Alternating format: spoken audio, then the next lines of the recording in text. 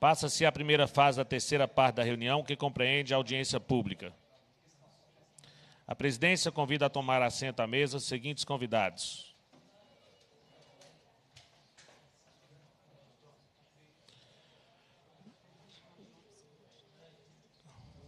Deputado Zé Silva, deputado federal.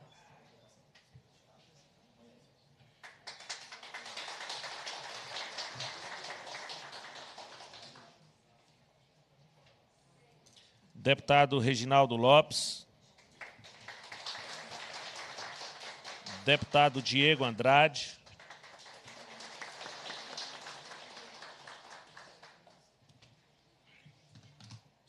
É, Fabiano Martins Cunha, superintendente regional do DENIT do Estado de Minas Gerais. Diógenes Timo Silva, prefeito, Prefeitura Municipal de Virgem da Lapa.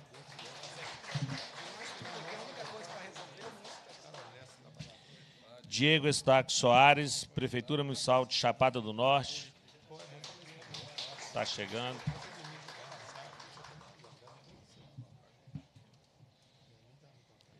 Lázaro Pereira Neves, Prefeito Municipal de Berilo.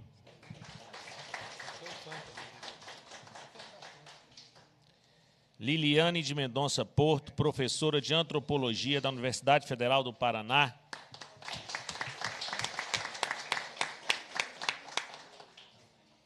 Anísio Reis Lemos Soares, representante do movimento Filhos do Vale.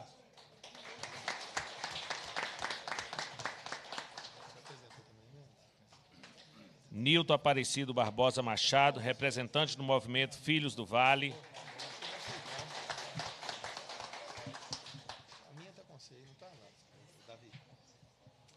Romércio Oliveira Gobira, presidente da Câmara Municipal de Almenara.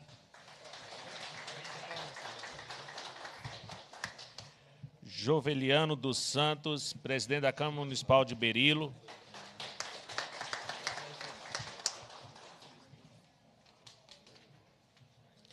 Se tiver algum outro presidente de Câmara, quando chegar, pode anunciar aqui, ou outro prefeito.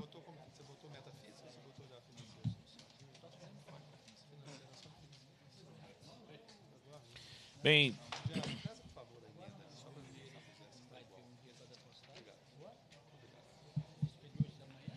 boa tarde a todos e todas. Tá fraco? Boa tarde. Bem, é uma felicidade imensa estar mais uma vez aqui junto a vocês. Primeiramente, eu quero dar boas-vindas, se me permitam, a, ao movimento Filhos do Vale, e a todos aqueles que são lá do Vale de Jequitinhonha, que passam pela dor e pelo amor de estar sempre lá, de passar por aquelas estradas, como nós passamos hoje, né? Vocês saíram de lá hoje, eu vi pelo grupo, de madrugada, vocês saíram de lá, eu também saí de lá, de madrugada, é, e passamos parte desse trecho. É, então é uma satisfação imensa estar aqui com vocês. Sejam bem-vindos. Gostaria de parabenizá-los, parabenizá-los. A cada dia eu fico é, vendo e lendo as mensagens no dia a dia do grupo e parabenizá-los. Acho que não só a questão da estrada, mas se nós juntarmos força e entender que somente juntos, sem questão de sigla partidária, mas somente, somente juntos, nós poderemos somar força para é, diminuir. É, o sonho seria acabar, mas pelo menos diminuir tantas mazelas que historicamente foram negligenciadas. Né? A nossa região, o Vale de Jequitinhonha, é uma região que historicamente sempre foi negligenciada. Então eu quero dar boas-vindas a todos vocês, dar boa-vinda a todos os companheiros aqui da mesa. Eu quero cumprimentar, cumprimento a todos na pessoa do Fabiano, Agradecer, Fabiano, de estar sempre presente, toda vez que nós o convidamos, está sempre presente, não só aqui, mas lá na região também, você já esteve lá e sempre nos recebeu, aqui também no DENIT. Então, muito obrigado é, pela sua presença. É, Para iniciar, eu gostaria de primeiro fazer uma apresentação de um vídeo, mostrando um pouco a, é, o histórico da nossa luta é, no que diz relação à BR-367. Como o desenvolvimento pode chegar ao... Como o desenvolvimento pode chegar ao Vale do Jequitinhonha com estradas como essa aqui? Olha só o perigo. Um trecho onde passam ônibus, caminhões, bem ao lado de um buraco desse tamanho, provocado pela erosão e a chuva. Nós estamos numa rodovia federal, a BR 367. No papel, a estrada já deveria estar asfaltada. Sua importância para a integração regional e para o desenvolvimento local, a rodovia é o reflexo do descaso que toda a região é tratada. Temos problemáticas de infraestrutura que chamamos a atenção do nosso governo Fernando Pimentel, principalmente de estradas e rodagens. É necessário e urgente que se construa o asfaltamento do trecho da LMG 677, entre os municípios de Virgem da Lapa, Lelivéldia, Berilo e Ixicatu. Se essas estradas fossem no Triângulo Mineiro, fosse no sul de Minas, senhores me desculpem, elas já tinham asfalto. Basta, chega. Eu não quero aqui fazer discurso de governo A ou B. A partir do processo eleitoral, o meu partido é a causa pela qual eu luto. E nesse aspecto aqui, aquela estrada é um dos meus partidos. Aquela estrada dos mestre João de Deus, a saudade me maltrata e me faz olhar no calendário pra ver se faltam poucos dias pra ouvir o tambor do rosário. Vale que vale cantar,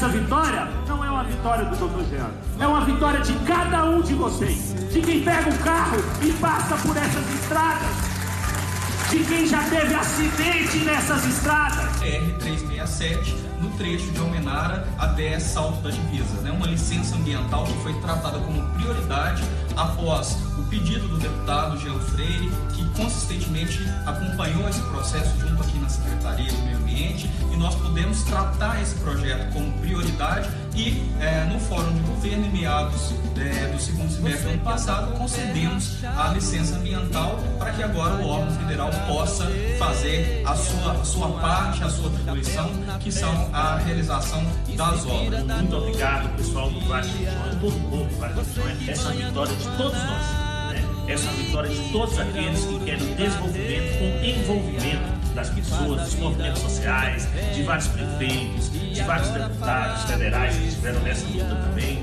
Essa é a soma de mundos. Né? Nós temos ainda no Alto do Jequitinhonha a BR-367 também, que ainda está nessa questão do processo ambiental, né, da liberação do processo ambiental. Gostaria aqui de, publicamente, nós já encaminhamos para tal ofício, sei que a Secretaria já está tomando providência, mas gostaria de fazer esse pedido também, para que nós pudéssemos liberar também o licenciamento ambiental no Alto Jequitinhonha. Então fica aqui o compromisso com todos vocês, você deputado, é, de que nessa data nós estamos fazendo um requerimento para a Supran poder analisar esse, esse processo né, com prioridade, porque é um processo que interessa a vida de cada um de vocês. Então, fica aqui o nosso compromisso. Conversa agora com o deputado Jean Freire, que vai falar sobre a situação da BR-367, que corta todo o Vale do Jequitinhonha e que está em situação precária. Nós que tivemos presidente da República no Vale de Jequitinhonha, JK, era o Vale de... Bem, é... nós fizemos um breve histórico, foi um compromisso nosso, desde quando assumimos o nosso mandato. Acho que uma das primeiras palavras que saiu, uma das primeiras frases foi BR-367. E o deputado Zé Silva lembrou muito bem lá no, no nosso evento, lá em Brasília, que é uma luta antiga, né? Luta dos deputados que aqui estão também, Reginaldo Lopes, que sempre esteve lá também, aquela região, é uma luta antiga. É, eu vou passar a fala agora, do deputado Diego Andrade, ele vai ter que já pedindo desculpas também, que ele vai ter que se retirar, é, porque hoje ele tem reunião, ele é da comissão de orçamento, e tem reunião hoje, inclusive, que vai estar é, é em pauta a discussão da BR-367. Com a fala, deputado Diego Andrade. Presidente, deputado Torgean, legítimo representante do Vale, sou testemunha do seu esforço, sempre presente em todas as reuniões, todas as ações para tentar implementar essa rodovia. Eu queria te cumprimentar e te saudar pela iniciativa, conte sempre com a gente. Queria cumprimentar de forma muito especial meu amigo deputado Reginaldo, muito trabalhador, jovem, um grande companheiro lá na Câmara dos Deputados. Saudar também esse que é um companheiro muito respeitado, pessoa simples, muito trabalhadora, que eu admiro muito, que é o deputado Zé Silva, um grande amigo, que também apresentou a emenda junto ao orçamento. Queria te entregar, é, presidente da comissão, a cópia da emenda que nós apresentamos. E dizer para todos, eu tenho certeza que outros deputados também devem ter apresentado, mas dizer para todos que é importante essa corrente e a gente pressionar até o ônibus chegar no alto do morro. Eu costumo dizer que tirar recurso em Brasília é igual empurrar um ônibus na subida, né, Reginaldo? Né, Zé Silva? Tem que pegar no para-choque, estufar a veia do, do pescoço, empurrar e lutar. E nessa rodovia não é fácil. A gente sabe que é um recurso que não é baixo, é um recurso alto, que é impossível para um deputado sozinho fazer, mas quando a gente junta, junta com os prefeitos, junta com os vereadores, os passos eles com certeza serão dados e a gente acredita que a gente vai poder ainda passar por essa rodovia asfaltada. Eu gostaria de cumprimentar o Fabiano e dizer da atenção dele, agradecer, porque sempre no DENIT tem sido atencioso, tem explicado as dificuldades, os pontos, né? Porque para chegar na vontade de fazer uma obra, na conclusão de uma obra, tem questão do licenciamento ambiental, tem a questão dos projetos, às vezes tem algum entrave nas licitações, e ele está sendo muito claro para a gente nas reuniões do passo a passo. E nós estamos aqui, mais uma vez, colocando à disposição do Fabiano, que é o responsável pela execução junto ao Ministério dos Transportes, todo o nosso apoio. No que for preciso, tá, Fabiano? Na comissão de orçamento, utilize a gente na comissão de viação e transportes para poder te dar forças. Nesse momento tão difícil, eu acredito que se a gente estiver unido, é possível fazer sim. Eu ainda acredito que é possível a gente ter essa realização o quanto antes. Queria cumprimentar todos os prefeitos, na figura do prefeito Lázaro, meu querido amigo, todos os vereadores na figura do Joveliano. Né? Queria cumprimentar o prefeito Chapada, que está aqui também, prefeito de Virgem da Lapa, e dizer a vocês: eu vou ter que me, que me, que me ausentar, porque está tendo nesse instante, lá, eu fui convocado hoje para Brasília, comissão de orçamento. Então a gente precisa estar presente, porque na comissão de orçamento é onde tudo se discute, se a emenda vai ser aprovada, se não vai, né? e me colocar mais uma vez, Fabiana, à sua disposição nas questões de interesse do DENIT, que você sabe exatamente aonde que está no orçamento ali, o ponto necessário né, para poder dar continuidade nos processos. Aquela, na, última, na última reunião que nós marcamos, tivemos presentes lá juntamente também com o deputado Marcos, que está o representante dele aqui, também um grande amigo.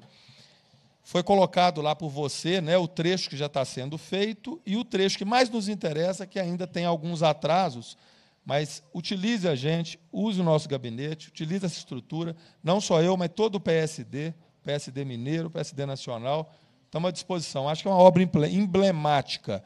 É muito importante fazermos a 381, o pessoal está brigando, está em andamento, mas a 367 ela é um sonho desde Juscelino. Não é possível que vai ter que chegar outro Juscelino.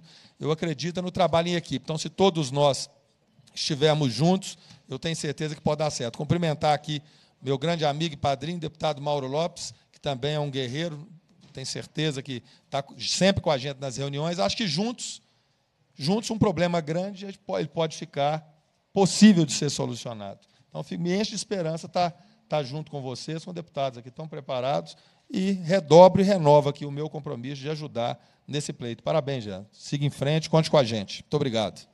Muito obrigado, deputado Diego. Eu gostaria de convidar o deputado Mauro Lopes para fazer parte aqui da mesa conosco.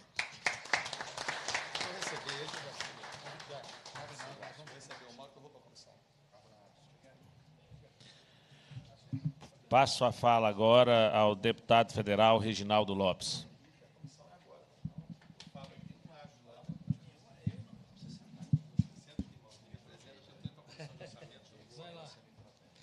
Boa tarde a todos, né? Em especial todas as mulheres sempre e permanente nas lutas. Cumprimentar e agradecer as palavras carinhosas Diego Andrade.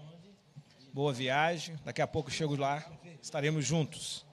Quero comentar a iniciativa do deputado Jean Freire, ex-companheiro amigo de luta pela nossa região, todos os vales, né, Vale Mucuri, São Mateus, Jequitinhonha, sempre presente nessas lutas.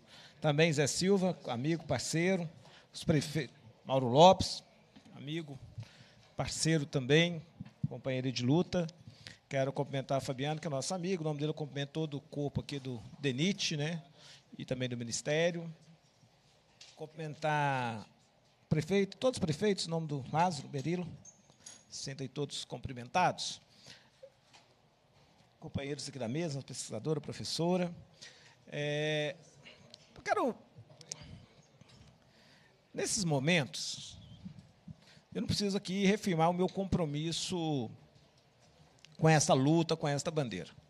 Né, já são dezenas de anos que nós estamos tentando resolver. Então, de fato, é, eu acho que é um absurdo não ter um conceito, é, da minha opinião, é, para realizar esta obra, comete dois grandes equívocos. O primeiro, na minha opinião, é que esta obra ela está extremamente vinculado à necessidade da economia brasileira. Não é o contrário. Eu vou explicar. O Brasil não supera essa crise econômica. O Brasil não sai dessa crise se o próximo presidente da República não admitir que o Estado brasileiro, o poder público, é que induz o crescimento econômico. Isso é um conceito, para além da necessidade da obra. Então, esse é o conceito principal que o povo brasileiro tem que debater até outubro. Não é só a questão e a necessidade da 367. Não. A 367 é o instrumento para a retomada do crescimento econômico. A obra é o instrumento. Porque nós estamos vivendo um momento que é fazer política sem polêmica. Isso é um discurso despolitizado. Não tem como fazer política sem polêmica, porque ela é mentirosa. E qual é a polêmica que eu quero trazer aqui? É que é contraditório a gente fazer esse ato aqui e não ter coragem de dizer que o Michel Temer está acabando com o país. A política que ele mandou para o Congresso Nacional, a medida provisória, para cortar 600 milhões do DENIT, é uma política objetiva para destruir esse país e para dar dinheiro para os acionistas da Petrobras. Por quê? Por que está cortando recurso de obra? Porque a Petrobras tem uma política de preços equivocados e, para segurar o preço por causa da greve dos caminhoneiros, o povo brasileiro tem que pagar com seus impostos lucro para acionista da Petrobras. E quem são os acionistas da Petrobras? Três famílias que são as mesmas que é dono do Itaú, que no ano de 2017 ganhou 26 bilhões de reais. É inconcebível esse modelo, gente. É inconcebível esse modelo. Se esse é o modelo, o que nós estamos fazendo aqui é demagogia. Se a gente acha que o problema e é necessário fazer 367, não dá para vir aqui fazer um discurso e lá sustentar um governo dessa natureza. Não dá para votar medida provisória lá no Congresso Nacional que vai cortar 600 bilhões de obras do DENIT. Será que alguém tem conexão, tem lógica isso? Graças a Deus o Brasil é um país inacabado. Porque se fosse um país acabado, nem possibilidade de reagir à economia o Brasil teria. O que o Brasil tem que ter é vergonha na cara. E o próximo presidente da República, na minha opinião, eu já falei isso num encontro com os prefeitos e com os vereadores que eu tive na MM, tem que ter coragem de dizer o seguinte: o único caminho para sair da crise é o Estado brasileiro fazer obras. Porque faz obras, gera emprego e gera arrecadação. Não tem outro caminho. Esse é o único caminho a curto prazo. A curto prazo. E não é o setor privado que puxa o setor público. Isso é discurso, conversa furada. É o setor público que puxa o setor privado. Isso é um conceito econômico. Enquanto o mercado e a Rede Globo vender para a cabeça dos vereadores e dos prefeitos que vai apoiar esse conceito, está equivocado. Quem puxa o setor privado é o setor público. E, portanto, o Brasil tem que fazer obras públicas. Quando o Lula fez obra pública, ele gosta dos prefeitos dos municípios, mas é porque também era maneira de desenvolver a economia. Quando você faz 4 milhões de casa, é porque todo mundo emprega, todo mundo produz tijolo, telha, tudo. Quando faz parque, faz creche, faz ônibus, faz trator, é isso, é conceito objetivo sobre o crescimento econômico. E segundo, vamos ser sinceros, é inaceitável, Fabiano, um país ter hoje um terço da população, Jean, economicamente. Nós temos um terço da população economicamente ativa, desempregada, subocupada. Um terço. Isso é anticapitalista. Não é socialismo, não. Você dá dinheiro para as pessoas, as pessoas têm renda, Bolsa Família, salário digno, aumento do salário real, direito à aposentadoria rural, direito à aposentadoria de idosos, é fazer o capitalismo crescer. Isso é um conceito econômico. E por que eu estou falando isso? Porque eu me formei em economia e descobri 15 anos depois, e eu quero voltar a ser economista para debater, porque não pode o Brasil continuar na mão do mercado financeiro como nós estamos. Nós estamos entregues ao mercado financeiro, tudo é para o mercado financeiro. Tudo, tudo, pré-sal, a Petrobras, os leilões, a Embraer, tudo é para o mercado financeiro. Se esse país fosse decente, não aceitava uma família distribuir 26 bilhões de reais, que é o Banco Itaú, para três famílias. Inaceitável. Então, eu estou dizendo isso aqui porque não adianta fazer outro discurso aqui, não, viu? que vocês vão ser enrolados. Porque quem tem compromisso em fazer obra pública tem que ter prioridade no orçamento público. Se não tem prioridade no orçamento público, não tem compromisso em fazer obra pública. É simples assim. É simples. Eu estava vendo aqui ó, o trecho que foi licitado. Tinham 40 milhões que a bancada de deputados federais do PT, do PT não, desculpe, de todos os mineiros, colocou Mauro Lopes, é Silvio, todo mundo. Ele foi lá, cortou 30. Agora cortou 6,5, sobrou 3,5. Manda uma medida para pagar, subsidiar combustível, que era muito mais fácil controlar o preço, mas aí não dá lucro para distribuir para os acionistas. O maior acionista é o povo brasileiro, mas tem que distribuir lucro para os privados. Corta mais 600 milhões. Aonde nós vamos parar? Aonde nós vamos parar? Então, quero aqui dizer o seguinte: estamos juntos. Estamos juntos na coisa objetiva, que é ir lá no orçamento, escrever 367. Estamos juntos. Mas também estamos juntos para discutir que esse modelo econômico levará o Brasil uma convulsão social. Ou muda ou tem convulsão social, porque a juventude, os desempregados, o pai de família, as pessoas não aceitarão tanta desigualdade e tanta falta de compromisso do Estado brasileiro. Nós exigimos um novo modelo econômico nas urnas em 2018. Esse é o debate central. Não estou falando aqui nem de candidato nem de partido. Estou falando de modelo econômico. Qual é o modelo? Para quem nós vamos cobrar imposto? Quem deve pagar imposto no país? Só paga imposto pobre, trabalhador, quem tem uma padaria, quem tem um açougue, quem tem um supermercado. Os cinco mais ricos do ano passado, que ganharam renda superior a 100 milhões de brasileiros, os cinco, não tem nenhum que tem uma padaria, um açougue, supermercado, que tem carteira assinada, tudo é mercado financeiro. Os cinco mais ricos que ganharam renda superior a 100 milhões de brasileiros no ano passado. Isso é inaceitável e nós não podemos aceitar mais isso. Então, viu, gente, estou junto, eu não vou poder ficar, porque quem me conhece sabe que hoje tem uma agenda extensa, marcado, eu ainda tenho que voltar para Brasília. Mas dizer para vocês, nós vamos vencer essa questão de obra pública eu sempre falo. O Brasil, o que não falta, né, Fabiano? É trecho para soltar. Brasil tem estrada entre municípios, estradas vicinais, as pessoas não têm água para beber, as pessoas não têm água tratada, as pessoas não têm saneamento, as rodovias no Brasil é puxadinho, puxa para lá, quando puxa o trecho não puxa a ponte, quando puxa a ponte não puxa o trecho, não por causa da DENIT, mentira. São muito dedicados, por falta de priorizar um projeto de infraestrutura do Brasil. Isso tem que ser revertido. E graças a essas dificuldades, é que eu acredito que o Brasil vai criar vergonha na cara. Em janeiro de 2019, nós vamos anunciar, e eu espero que o próximo governo da República anuncie 2 trilhões de obras públicas em quatro anos e que o Brasil possa gerar 8 milhões de emprego e o Brasil retomar o crescimento. Só retomaremos o crescimento se o Estado realmente for considerado como um indutor, como instrumento que puxa a economia. Isso não é novo. Isso foi feito em 29, quando Keynes mandou queimar os cafés tudo e pagar o dono do café para a renda continuar e as pessoas fazer outra atividade econômica. É assim que sempre foi. Um discurso contrário, um discurso mentiroso que já levou o Brasil ao caos e está levando mais ainda se a gente não interditar esse modelo econômico. Então é isso, obrigado, estamos juntos, obrigado pela oportunidade. Obrigado, deputado Reginaldo Lopes. Eu sempre falo que gosto muito de ouvi-lo. É, e dizer, Reginaldo, eu tenho falado muito isso. Nós estamos em um ano eleitoral, né?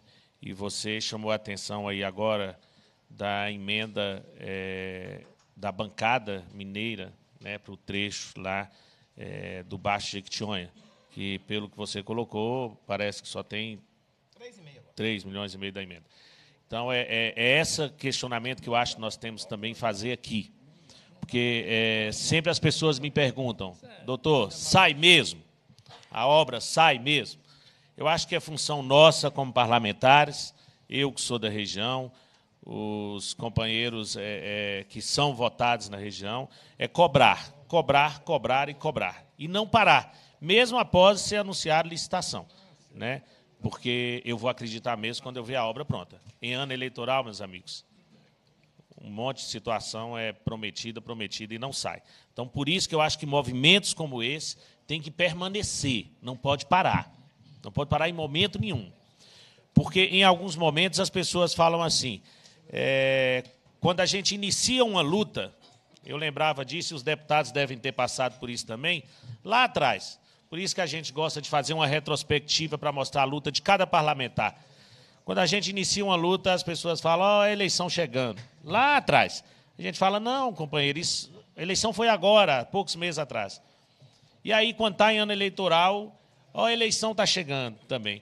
Ou seja, parlamentar parece que também uns não gostam que parlamentar é, é, trabalha, atuante também, né? E resolvem colocar todo mundo, todo mundo na mesma vala comum. Eu gostaria de chamar o, o prefeito de Chapada do Norte, o Diego, aqui para fazer parte aqui conosco também, Diego. Muito obrigado, deputado Reginaldo. Vou passar a fala agora ao representante Filhos do Vale, o nosso companheiro Anísio. Doutor Jean Freire, a quem eu tomo a liberdade de chamar de companheiro e irmão, senhores deputados federais, deputados estaduais, senhores prefeitos, vice-prefeitos, presidente de Câmara de Vereadores, senhores vereadores, senhoras e senhores, eu os cumprimento aqui em nome do, do movimento Filhos do Vale. Eu, primeiramente, gostaria de dizer o seguinte: quando a gente vem aqui reivindicar a pavimentação da BR-367, nós não estamos aqui com pires na mão pedindo esmola. Nós estamos aqui exigindo reconhecimento. Reconhecimento por tudo que o Vale significou e significa para esse estado de Minas Gerais e também para o país. No passado, o Vale do Jequitinhonha mandava seu ouro e suas pedras preciosas para a metrópole, para Portugal. O Vale do Jequitinhonha continuou sempre a mandar riquezas para fora. Interessante que o projeto que veio para ser a retenção do, do vale, que foi o projeto de reflorestamento, muito pouco acrescenta a economia do Vale do Jequitinhonha. E acrescenta muito mais para fora do Vale do Jequitinhonha. Gostaria de dizer também, aqui como um ex-migrante, um ex-trabalhador de usina, que a nossa maior riqueza, que são os filhos e filhas do Vale, também serviu para enriquecer outras regiões, como a região de Ribeirão Preto, inclusive por ocasião do programa Proálcool. Então, senhoras e senhores, eu gostaria de dizer que vir aqui reivindicar a pavimentação da BR 367 é reivindicar um direito, é reivindicar algo que o Estado brasileiro nos deve. E não é só isso, não é só a BR 367, um desenvolvimento pleno de inclusão do nosso povo do Vale do Jequitinhonha na economia do Brasil. Então, senhoras e senhores, nós, movimento Filhos do Vale, imbuídos nesse propósito da pavimentação da BR-367, trecho Minas Novas, Virgem da Lapa, também trecho Almenara, Salto da Divisa, nós queremos pedir aos senhores que, de fato, nos dê a resposta que merecemos, que é a resposta ao reconhecimento de tudo que o Vale proporcionou a Minas e ao país, que é minimamente a pavimentação dessa BR 367. Muito obrigado. Muito obrigado, Anísio. Eu passo a fala agora ao deputado federal Mauro Lopes. É, bom dia a todas, bom dia a todos. É, quero saudar a mesa na saudando inicialmente o doutor Jean, o, o nosso companheiro o, o Zé Silva, o prefeito Jean, Diego. integrantes aqui da mesa, né, que é um prazer saudá-los. E quero saudar aqui o doutor Fabiano, e dizer para vocês o seguinte: eu sou deputado de seis mandatos, está aproximando as eleições. Eu vi discurso aqui exatamente eleitoreiro. Nós temos que ser mais realistas, não aproveitar exatamente do momento que todos estão necessitando de apoio, de ajuda. Porque eu quero ser sincero: se o governo passado não fez em 14 anos 14 anos esteve lá no governo e não fez nada. Então, realmente, não tem que fazer, discurso eleitoreiro. Nós temos que ser realistas. Eu quero aqui, nesse momento, parabenizar o doutor Jean pela sua cidade, que eu fiquei encantado de passar em Taubim. Viu, a cidade cresceu muito.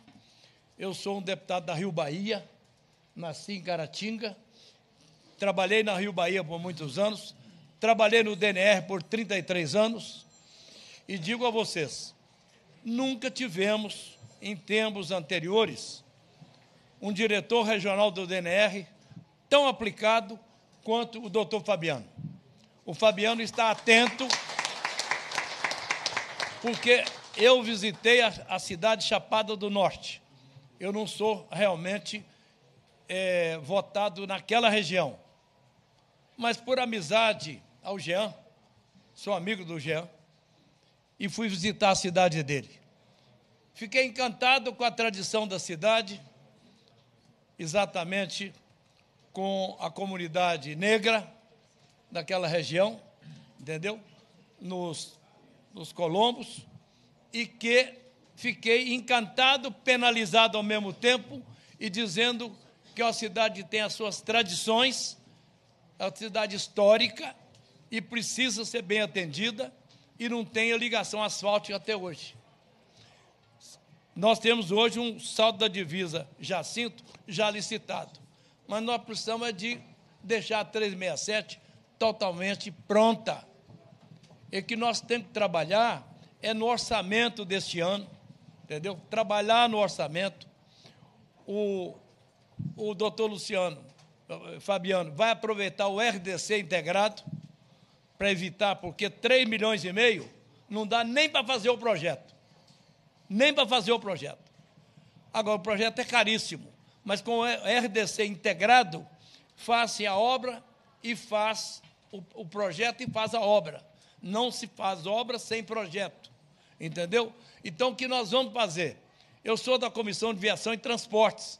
A minha vida é trabalhar em transporte, em rodovias.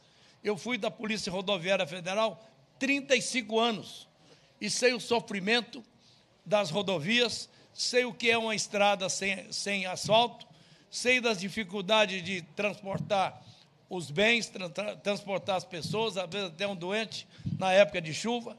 Eu sei de todas as dificuldades que eu vivi a vida toda nessa área.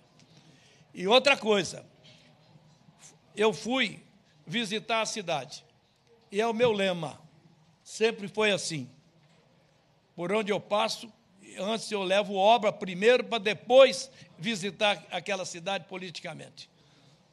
Eu visitei a cidade, nunca tive nenhum voto em Chapada do Norte e já mandamos recursos lá para o prefeito para ele trabalhar e melhorar as condições da cidade. Não tive nenhum voto em Itaubim, ali Itaubim, desculpa, é Medina, que é logo na frente, né? Já mandei para lá uma ambulância, mandei para lá dinheiro para o hospital, agora, né? Não fui votado. Eu, eu sempre gosto de fazer antes para depois me conhecer. Então eu tô aqui, não estou aqui para fazer discurso eleitoreiro, estou aqui para trabalhar com seis mandatos que eu tenho. Eu quero com os meus pares, com, com, com o nosso colega aqui, o, o José Silva, entendeu? E com meus pares lá, com o Diego, saiu daqui agora, o próprio é, Reginaldo Lopes, isso sim, trabalhar no orçamento deste ano atentamente para colocar recursos para fazer aquela estrada que ela é necessária, ela é integração, ela é integração do Jequitinhonha, é uma região sofrida, entendeu? Se for o asfalto para lá, tudo melhora. Você vê que as cidades que estão à margem da Rio Bahia melhoraram. Igual estou falando com o doutor Jean aqui, eu passei em Itaubim, há muitos anos que não ia em Itaubim. Eu fiquei encantado com o crescimento da cidade, entendeu? Então, realmente, o asfalto traz riqueza, traz melhorias, né? Então, vocês podem contar que eu estarei lá no Congresso como membro da Comissão de Transportes, já estou há 24 anos nesta comissão, é de lá que saem os projetos, é de lá que saem os recursos, é de lá que saem as propostas. Então, vamos trabalhar na Comissão Viação e Transportes e trabalhar também no orçamento da União, para que possamos realmente contemplar. Se Deus quiser, eu tenho certeza, seja quem for o governo, porque depende do Congresso Nacional. Se nós colocarmos no orçamento um recurso, o Poder Executivo tem que gastar o dinheiro. Tem que gastar o dinheiro. Então a obra virá. Vocês podem contar, saber que eu sou um parceiro, estou aqui em homenagem ao, aos habitantes daquela região, representados aqui pelo Jean, esse menino novo, jovem, está aqui com o presidente da Câmara, os vereadores estão todos aqui. Eu foi uma alegria aquela visita que eu fiz à Chapada do Norte, fiquei encantado com o povo de lá, com a simplicidade, com a bondade, com o abraço que eu recebi de vocês, aquilo me sensibilizou, de modo que eu, como deputado e ser humano, sei do sofrimento das pessoas. Então, através do asfalto, vem o crescimento, vem as melhores condições de vida. Então, eu digo para vocês, contem comigo, como deputado rodoviário que sou, a vida toda, eu trabalhei 50 anos nessa área, 35 anos no DNR. Então eu conheço meio, bem o DNR. E outra coisa, repito, nós temos um diretor regional, que é o Fabiano, um dos melhores que já passou por lá, que realmente está interessado e está trabalhando para que possa concluir essa obra da 367, tão é, desejada e tão merecida para o povo do, da região. Doutor Jean, muito obrigado pela oportunidade e conte comigo lá no Congresso Nacional para que possamos ajudar a região tão sofrida do Vale de Jequitinhonha. Obrigado, deputado Mauro Lopes. É, anunciar aqui a presença e já aqui na mesa conosco, o deputado é, Padre João, companheiro de muitas lutas também, conhecedor, e volta e meia passa lá pelaquela BR também. Eu passo agora a fala ao deputado Zé Silva. Meus amigos e amigas, inicio a minha participação nesta audiência pública registrando aqui meus cumprimentos muito especiais a cada um de vocês que saíram do vale, já cortaram estrada, para se juntar aqui ao presidente desta audiência pública, doutor Jean, e eu cumprimentá-los, cumprimentar, doutor Jean, pela sua luta, pela parceria que nós temos travado lá no Vale, em relação aos temas mais fundamentais daquela região, não só de infraestrutura, mas da agricultura familiar, da educação, é, da saúde, e principalmente colocar o Vale do Jequitinhonha no mapa de prioridades dos dois governos, tanto o governo estadual como o governo federal. Então, queria te cumprimentar e agradecer a oportunidade de ser seu parceiro de sonhos, de lutas, de caminhadas e também de muitos resultados importantes para o Vale do Jequitinhonha. Cumprimentar o movimento Filhos do Vale, aqui representado na mesa pelo Anísio e pelo o Newton, né? E mais falar aqui da, é, da Iris, né? Cumprimentar as mulheres guerreiras do Vale, mas cumprimentar o movimento Filhos do Vale pela maturidade. É muito comum hoje, e é muito mais fácil fazer movimentos e fazer campanhas de comemorar os desastres, comemorar as péssimas notícias, mas um movimento como esse que tem a maturidade de tratar os desafios com propostas, é, com viagem como vocês fizeram a Brasília, como fizeram aqui. Então, queria cumprimentá-los pela iniciativa e também pela maturidade. Cumprimentar os parlamentares federais que estamos juntos aqui nesta mesa, deputado Mauro Lopes, com seus seis anos de mandato e seis mandatos, seis mandatos no Congresso Nacional e muitos quilômetros de estradas, é, legitimamente, não só na estrada como policial rodoviário federal, mas também na estrada aí, trabalhando por Minas e pelo Brasil. Deputado Reginaldo Lopes, que também passou por aqui. Deputado Diego, que foi lá para a Comissão Mista de Orçamento. Cumprimentar aqui os vereadores, nome do presidente, meu presidente do doutor Jean Almenara, amigo Romércio, aqui representando também o prefeito Ademir Gobira, que ficou lá começando um milhão que eu coloquei para fazer asfalto em Almenara. Sexta-feira começou, graças a Deus, lá. E o, Romércio e o Ademir estão vibrando lá, doutor Jean. Cumprimentar aqui a professora Liliana, e me interessei muito depois que eu vi a história de trabalho dela lá no, com os Filhos do Vale, as suas pesquisas, e muitas coisas nos unem, viu, professora? Não só das origens, mas o trabalho que nós realizamos também. Então, estou ansioso para ouvi-la também.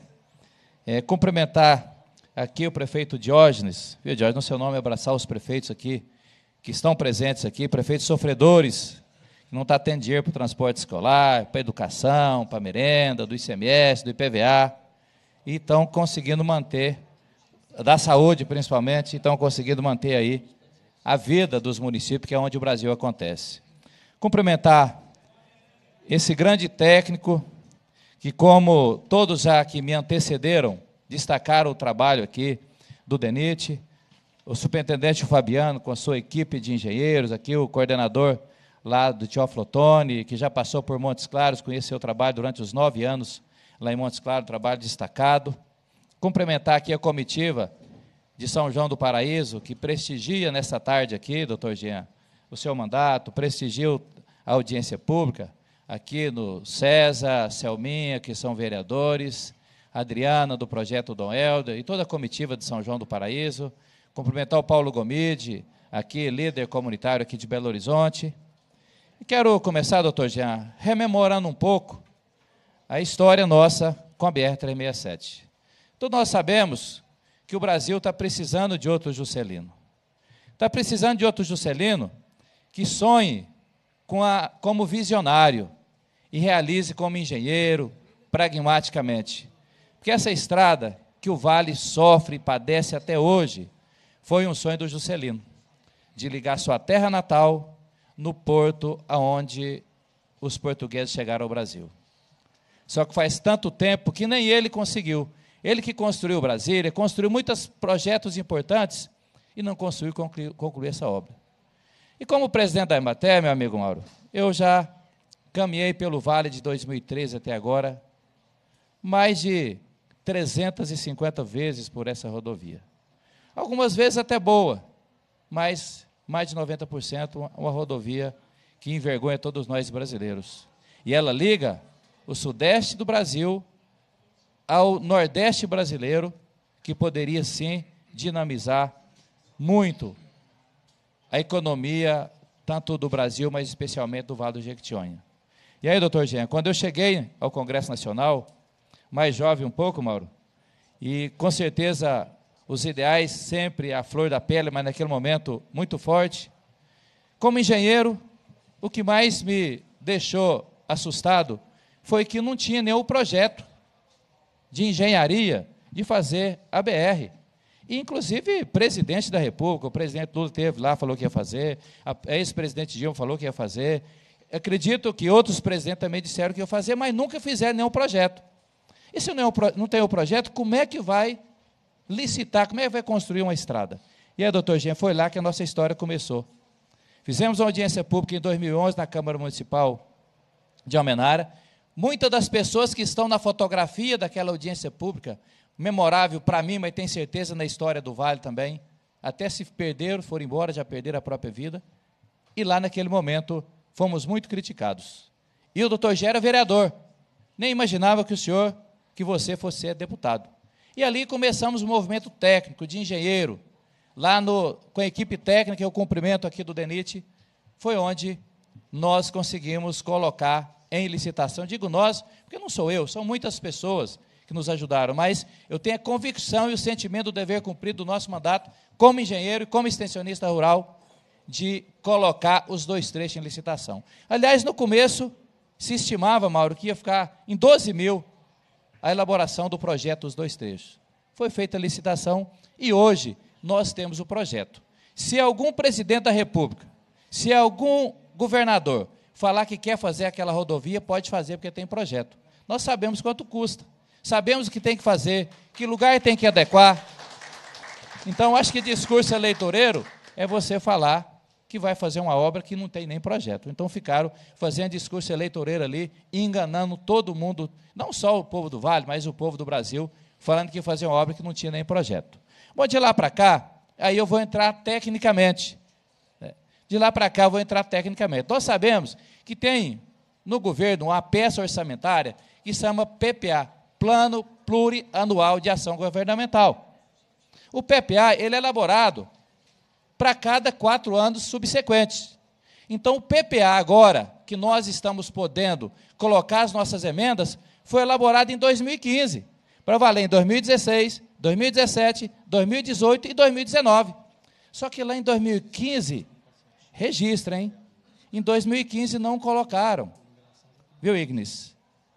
Não colocaram o trecho que, que é de Virgem da Lapa a Minas Novas. Não está no PPA. E eu estou aqui com emenda, mesmo que às vezes alguém questione, estou aqui com emenda com o parecer lá da Comissão Mista de Orçamento. Então, quando o deputado Diego falou que da emenda, que ele colocou, ele é da comissão, eu coloquei a emenda também junto com ele. Nós colocamos duas emendas para os dois trechos. Está aqui também o trecho, emenda da BR-367, que o Mauro também é um claque nessa área. Trecho 1, construção do trecho rodoviário, salto da divisa Almenara. A emenda foi acatada pelo relator. Está aqui, ó. Emenda aprovada pelo relator da Comissão Mista de Orçamento. O trecho recursos para conclusão do trecho Virgem da Lapas, Minas Novas, para licitação e contratação da obra orçada em 190 milhões. Ó, o parecer técnico. Primeiro, emenda inviável. A inviabilidade de inseri-la nesse orçamento se dá pela falta de ação específica no PPA de 2016 a 2019, que é um processo de construção coletiva sobre órgãos do governo de governo e representação da sociedade. Citou aqui os artigos. Artigo 1 do PPA da União 2016-2019. Então, se alguém falar que vai pôr dinheiro para fazer esse trecho aqui do movimento Filhos do Vale, evidentemente nós não vamos separar o povo do Vale por causa de dois trechos de uma BR, mas não foi possível colocar nem o Mauro, nem o Reginaldo, nem o Padre João e nem o Diego. Porque em 2015 não colocaram esse trecho do PPA. Não sei por que não colocaram. Né? Então, por isso, esse trecho, qual que é a primeira ação concreta nossa no Congresso Nacional, que nós somos cinco deputados que estão participando aqui dessa audiência pública? É no PPA para 2020, 21, 22 e 23, que ele será feito agora em 2019, para poder colocar recurso nesta BR. Bom, nesse trecho, que é de Minas Nova, Virgem da Lapa. Como disse aqui, é, e tem certeza, o Fabiano vai nos ajudar, no RDC, que o Mauro citou aqui, o Diego também citou, é o regime diferenciado. RDC, regime diferenciado integrado de contratação. Facilita a contratação das obras, desburocratizou, dá mais autonomia para o Departamento Nacional de Infraestrutura de Transporte. se através do RDC tiver alguma opção, mas nós vamos aprovar o orçamento agora, então com certeza não terá como colocar recurso. Entendeu? Então não adianta nós virmos aqui, né, doutor Jean, e falar que vai colocar dinheiro, que vai colocar dinheiro na obra, porque não é possível. Sabe? Legalmente não é possível e nem tem como trabalhar o orçamento, que é o, a, a parte mais importante onde o Congresso Nacional pode atuar. Bom, mas o que eu acho que é importante aqui, nesse momento, eu não tinha como não falar dessa legalidade, desta questão do orçamento, eu vou deixar, inclusive, aqui com o doutor Jean, viu, doutor Jean? Você que é o nosso líder, inclusive, estivemos juntos nas, nas manifestações, lá quando o povo perdeu a esperança e perdeu, inclusive, a paciência e incendiar as pontes. Nós não, não é que nós defendemos isso, mas indo, vai indo as pessoas, não tem mais opção. Eu vou deixar na mão do doutor Jean, é oficial, e vou precisar. Eu não sou da CMO, o Mauro é da CMO, o Diego é da CMO, que é a Comissão de Orçamento, nos ajudar a aprovar essa emenda que foi aprovada só pelo o relator, vai ter que ser aprovada pela comissão. Então, passo aqui oficialmente as mãos do doutor Jean, que é o nosso presidente desta audiência pública. E para encerrar, encerrar, gente, eu quero mais uma vez, como os que me antecederam, os deputados federais, me colocar sempre como um parceiro nessa caminhada de pagar essa dívida que o Estado brasileiro, que o governo brasileiro tem com o povo do Vale do Jequitinhonha. E muito mais do que o que a gente fala, é os resultados do nosso trabalho.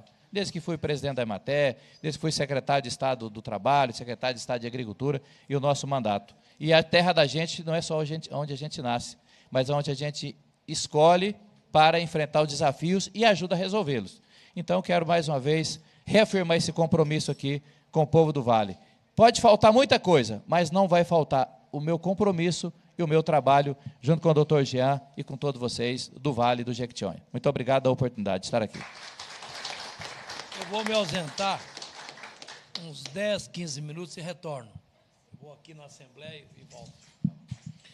É, eu gost, gostaria de parabenizar, agradecer Agradecer a presença do vereador Ivanildo Ferreira de Figueiredo, Wesley de Sales, Valdir Marques, Geraldo Ramalho, José Edmilson, Sueli Dias Pereira, Marcos Vinícius, Euler Gil Batista, Sérgio dos Reis Góes, Ailton Ferreira de Oliveira, Ronaldo João de Macedo. Se tiver mais algum vereador é, aí presente, por gentileza, depois dá o nome para nós. César de São João do Paraíso, João de Chapada do Norte, Selminha de São João do Paraíso,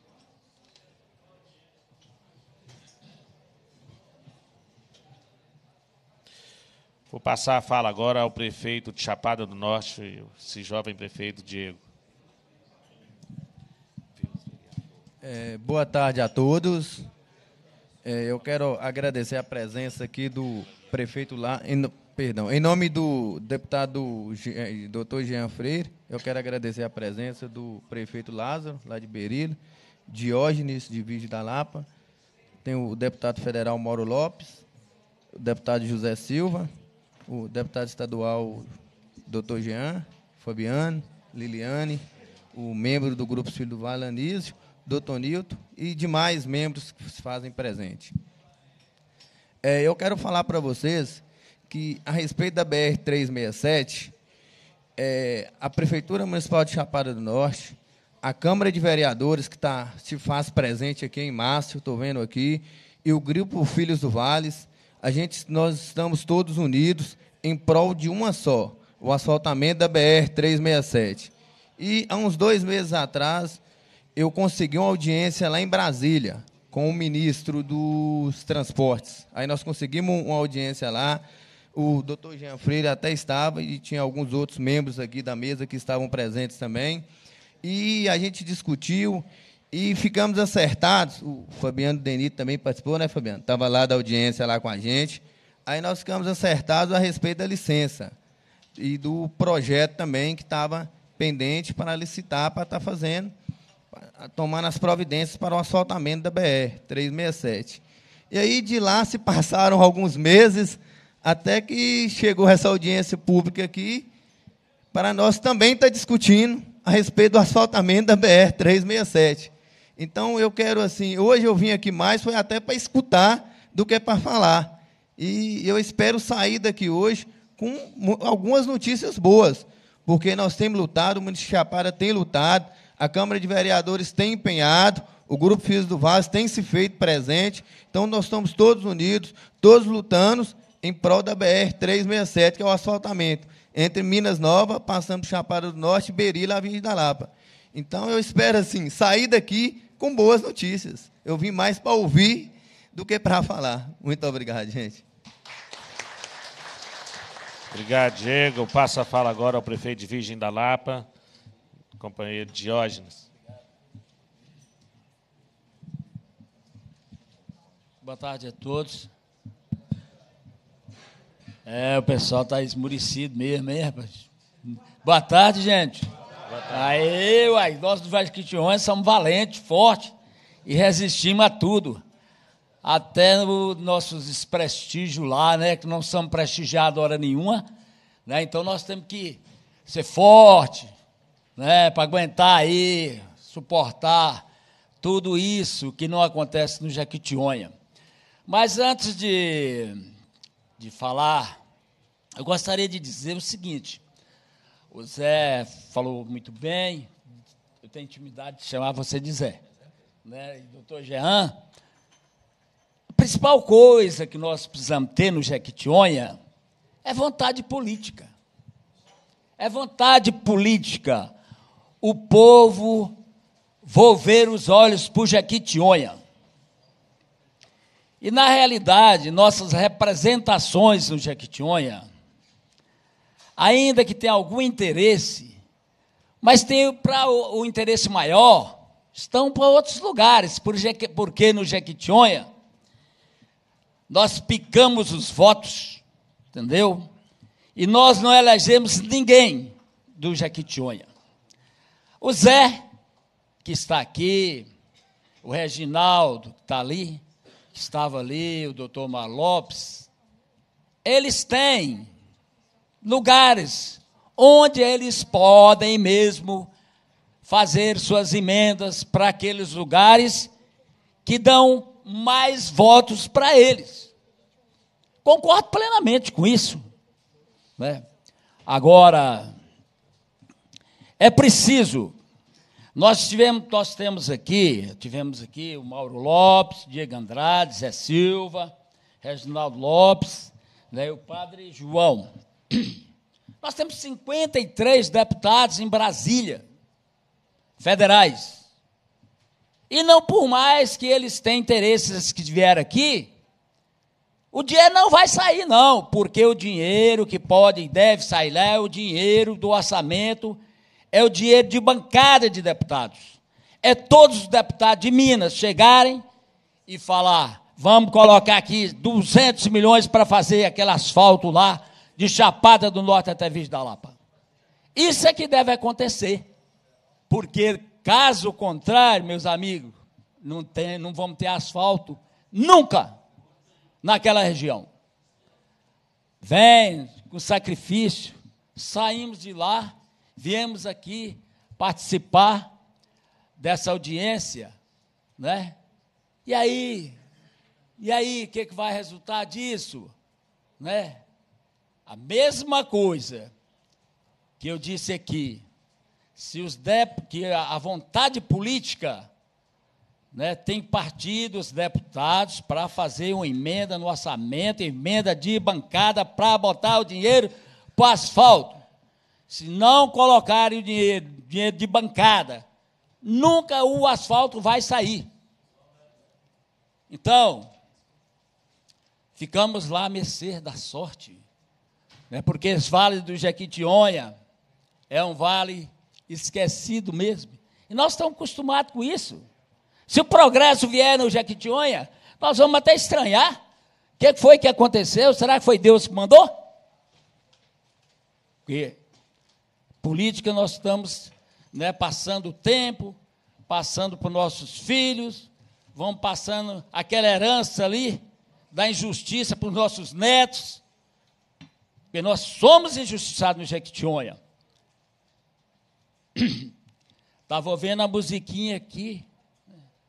do Jequitinhonha, as músicas das lavadeiras, do artesanato, é muito bom. Mas o governo precisa levar o progresso para o Vale do Jequitinhonha.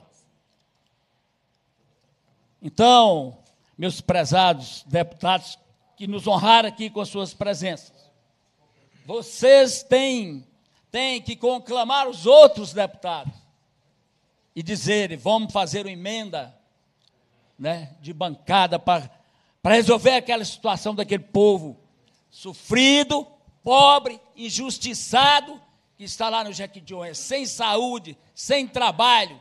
Não existe nada para nós no Jequitinhonha, não sobra, não está sobrando, né? nós queremos é a sobra. É a sobra, porque se você for no Triângulo Mineiro, se você for na região do, da Zona da Mata, até os distritos dessa região são asfaltados. Até os distritos. Os deputados mandam emenda para asfaltar os distritos.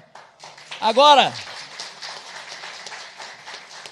agora, quatro cidades não são interligadas por asfalto. Meu sogro sempre fala comigo: esta região está faltando nome. Esta região está faltando, tá faltando homem, porque não é possível hoje aceitar isso. Quatro cidades sem ter asfalto, se está interligada por asfalto. Então, não temos outra coisa, é o Pires na mão mesmo, deputado? É o Pires na mão. E pedimos a vocês aqui, que estão aqui, né, e esses aqui, que estão clamando aqui, né, por uma sobrevivência mais digna do povo do Jequitinhonha. Nós queremos mais dignidade, mais respeito. Né, você está vendo que é um povo mestiço. Nossa região é de um povo mestiço, descendente de negros, descendente de escravos, né, povo lá da Chapada do Norte, Berilo, né, e que até hoje não foram respeitados. Muito obrigado a todos.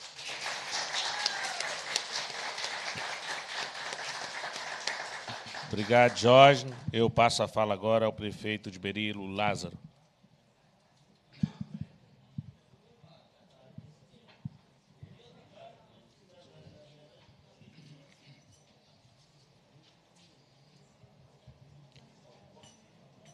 Deputado doutor Jean, presidente desta comissão, a pessoa de quem eu quero cumprimentar, ao deputado José Silva, o deputado que aqui esteve, Reginaldo Lopes, Tigre Andrade, Mauro Lopes, e o padre João, e o diretor regional do DENIT, ao, ao líder da comissão, filhos dos vales, aqui, doutor Newton, o doutor Anísio, aos componentes, companheiros do Vale de Quitionha, filhos de Minas Novas, Chapado do Norte, Virgem da Lapa, Turmalina, Berilo. E dizer que o momento em que foi nos concedido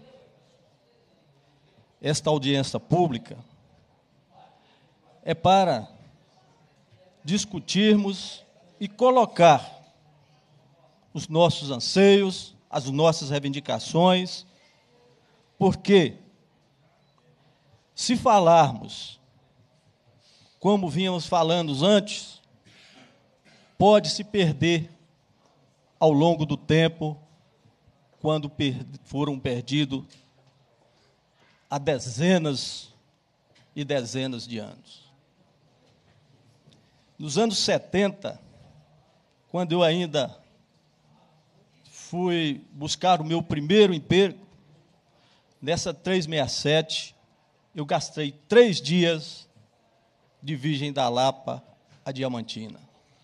Não é possível que no tempo que nós aqui estamos discutindo numa audiência pública que nós vamos continuar esta caminhada com tamanha dificuldade para chegar aos nossos anseios, que é apenas 42 quilômetros de asfalto que vem trazendo um transtorno, aonde os nossos filhos e muitos netos não conseguem ver vir para a nossa região uma empresa para poder instalar, porque não tem uma logística.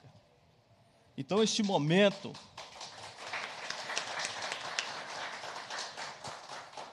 em que foram concedidas a nós, lá do Médio Jequitinhonha, do Vale, essa audiência pública, é para nós exigirmos e colocarmos aqui, para que os nossos deputados, que faz parte da bancada mineira, coloque no, PA, no PPA de 2019 esse nosso trecho, para que aí nós continuamos com esta luta para que 2020, 2019 e 2020 tenha o recurso no orçamento para que esse asfalto chegue, para trazer, para melhorar a nossa região. Porque sem logística nós vamos ficar perdidos no tempo. Isto foi discutido quando surgiu a, a indústria do, do biodiesel, em que nós discutimos em audiência pública lá no Colégio Nazaré, e o representante da Petrobras colocou: nós fazemos investimentos sociais, mas nós visamos o lucro. E o lucro é através da logística. Por isso, não instalou uma fábrica de biodiesel do Jequitinhonha, foi para o norte de Minas. Então, nós precisamos agora agarrar essa oportunidade que está nos concedendo que é essa audiência pública, para nós discutirmos e colocar no papel o que é necessário para dar continuidade a este movimento Filhos do Vale. Eu vejo aqui professores, doutores, empresário que ainda acredita que o médio Jaquitionha tem solução. E uma das soluções é este asfalto da 367. Por isso, companheiro de hoje, companheiro Diego, vamos continuar nessa caminhada, nessa batalha, e vamos pedir que os nossos deputados levem o nosso anseio até a Assembleia Federal para mobilizar a bancada mineira para colocar a emenda de bancada no orçamento de, dois, de 2019 para nós continuarmos com essa nossa trajetória, essa caminhada e essa vontade de que o Vale seja ligado do estado de Minas Gerais ao sul da Bahia. Porque a 367 é a coluna dorsal da nossa do nosso progresso e da nossa melhora dentro do estado de Minas Gerais. Obrigado. Passo agora a fala ao presidente da Câmara Municipal de Berilo, nosso companheiro Joveliano.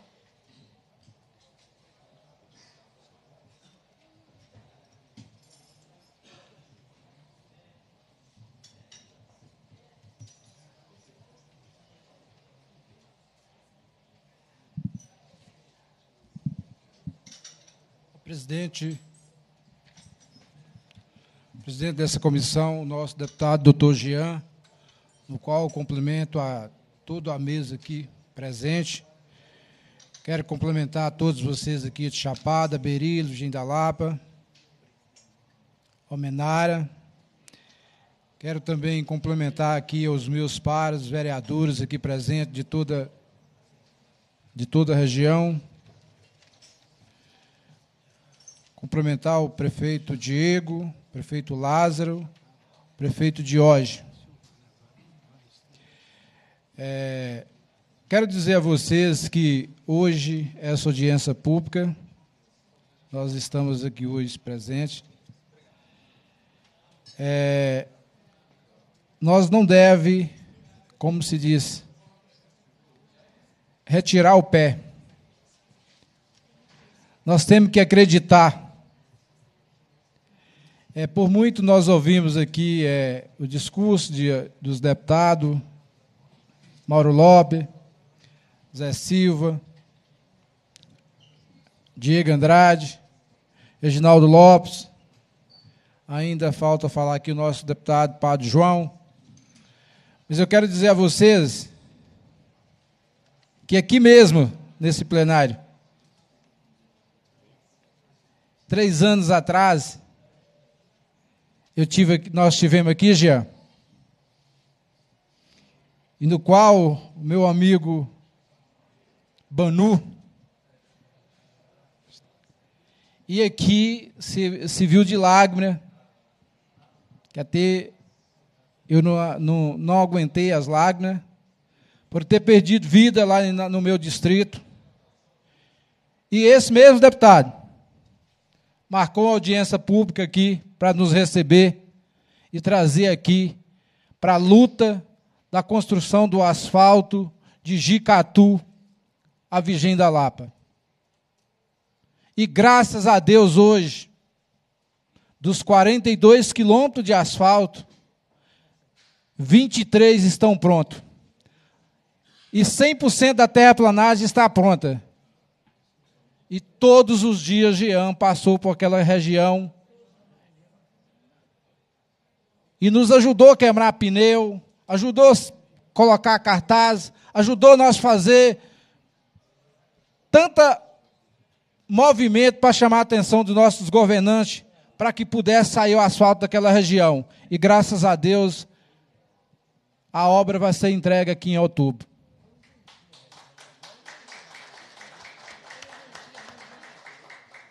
Esse mesmo incansável deputado começa essa luta hoje, marca uma audiência pública aqui, para nós conseguir o asfalto da 367 que liga Vigem da Lapa a Minas Nova. Eu vejo que talvez dentro do grupo, não sou muito hoje muito de estar tá falando, tá mas eu sou muito de acreditar e dizer para o povo, filhos do, do vale, e o grupo parabenizar todo esse grupo que criou essa expectativa e hoje é um projeto que saia 2019, que saia 2020, que saia 2021 ou que saia 2030. Durante o nosso tiver vida, Jean, nós vamos estar junto com você e as autoridades para que lá tenha asfalto da 367, porque uma região só é desenvolvida quando ela tem energia e tem asfalto. E Valo de Jequitinhonha quando é conhecido por vários políticos que fala que Vale do Jequitinhonha é Vale da pobreza, é porque ele é pobre de espírito, porque o Vale é rico. O que o Vale precisa é de político de moral, de caráter, que tenha coragem de brigar pela sobrevivência daquelas pessoas que é guerreiro, que mora naquela região. Eu tenho 58 anos, que nasci e criei ali no Vale do Jequitinhonha. Criei a minha família lá. E não pretendo mudar de lá. Por isso que estou aqui, juntamente com todos vocês, para brigar, lutar, correr atrás e acreditar. E, e nas palavras do, do meu prefeito Lázaro, o que ele disse aqui: os nossos deputados, que estão lá em cima, dos 53 deputados que for votado naquela região, colocar suas emendas e brigar dentro do para colocar dentro do orçamento para a construção da 367 para aquela região. E o Jean é um incansável. Passa lá toda semana. Parabéns, Jean. Parabéns. Porque o Vale de Jequitinhonha precisa alguém que briga pelo vale. E não que briga só na época da eleição. Que briga durante os 366 dias do ano e durante os quatro anos do seu mandato para o Vale de Jequitinhonha. Não quero mais acrescentar as minhas palavras aqui. O que eu quero dizer a vocês é o seguinte: vamos nas lutas. Nós estamos começando. Nós não vamos cansar. E nós vamos em busca da 367, do asfalto de Virgem da Lapa a Minas Nova. Meu muito obrigado. Obrigado, Joviliano. Eu convido a fazer parte da mesa aqui conosco o João de Matos, presidente da Câmara Municipal de Chapada do Norte. Eu passo a fala agora ao presidente da Câmara Municipal de Almenara, nosso companheiro Romércio Gobira.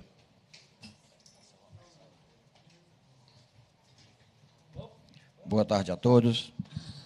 Boa tarde, doutor Jean e nosso, nosso deputado federal, Zé Silva, que eu cumprimento todos os componentes da mesa. Falar da BR-367, doutor Jean, para nós, vou falar com toda franqueza, o que a gente sente, nós do Baixo de Quitionha, é uma tristeza. Eu passei na BR Almenara, Sal da Divisa, há dois dias atrás. O descaso é muito grande.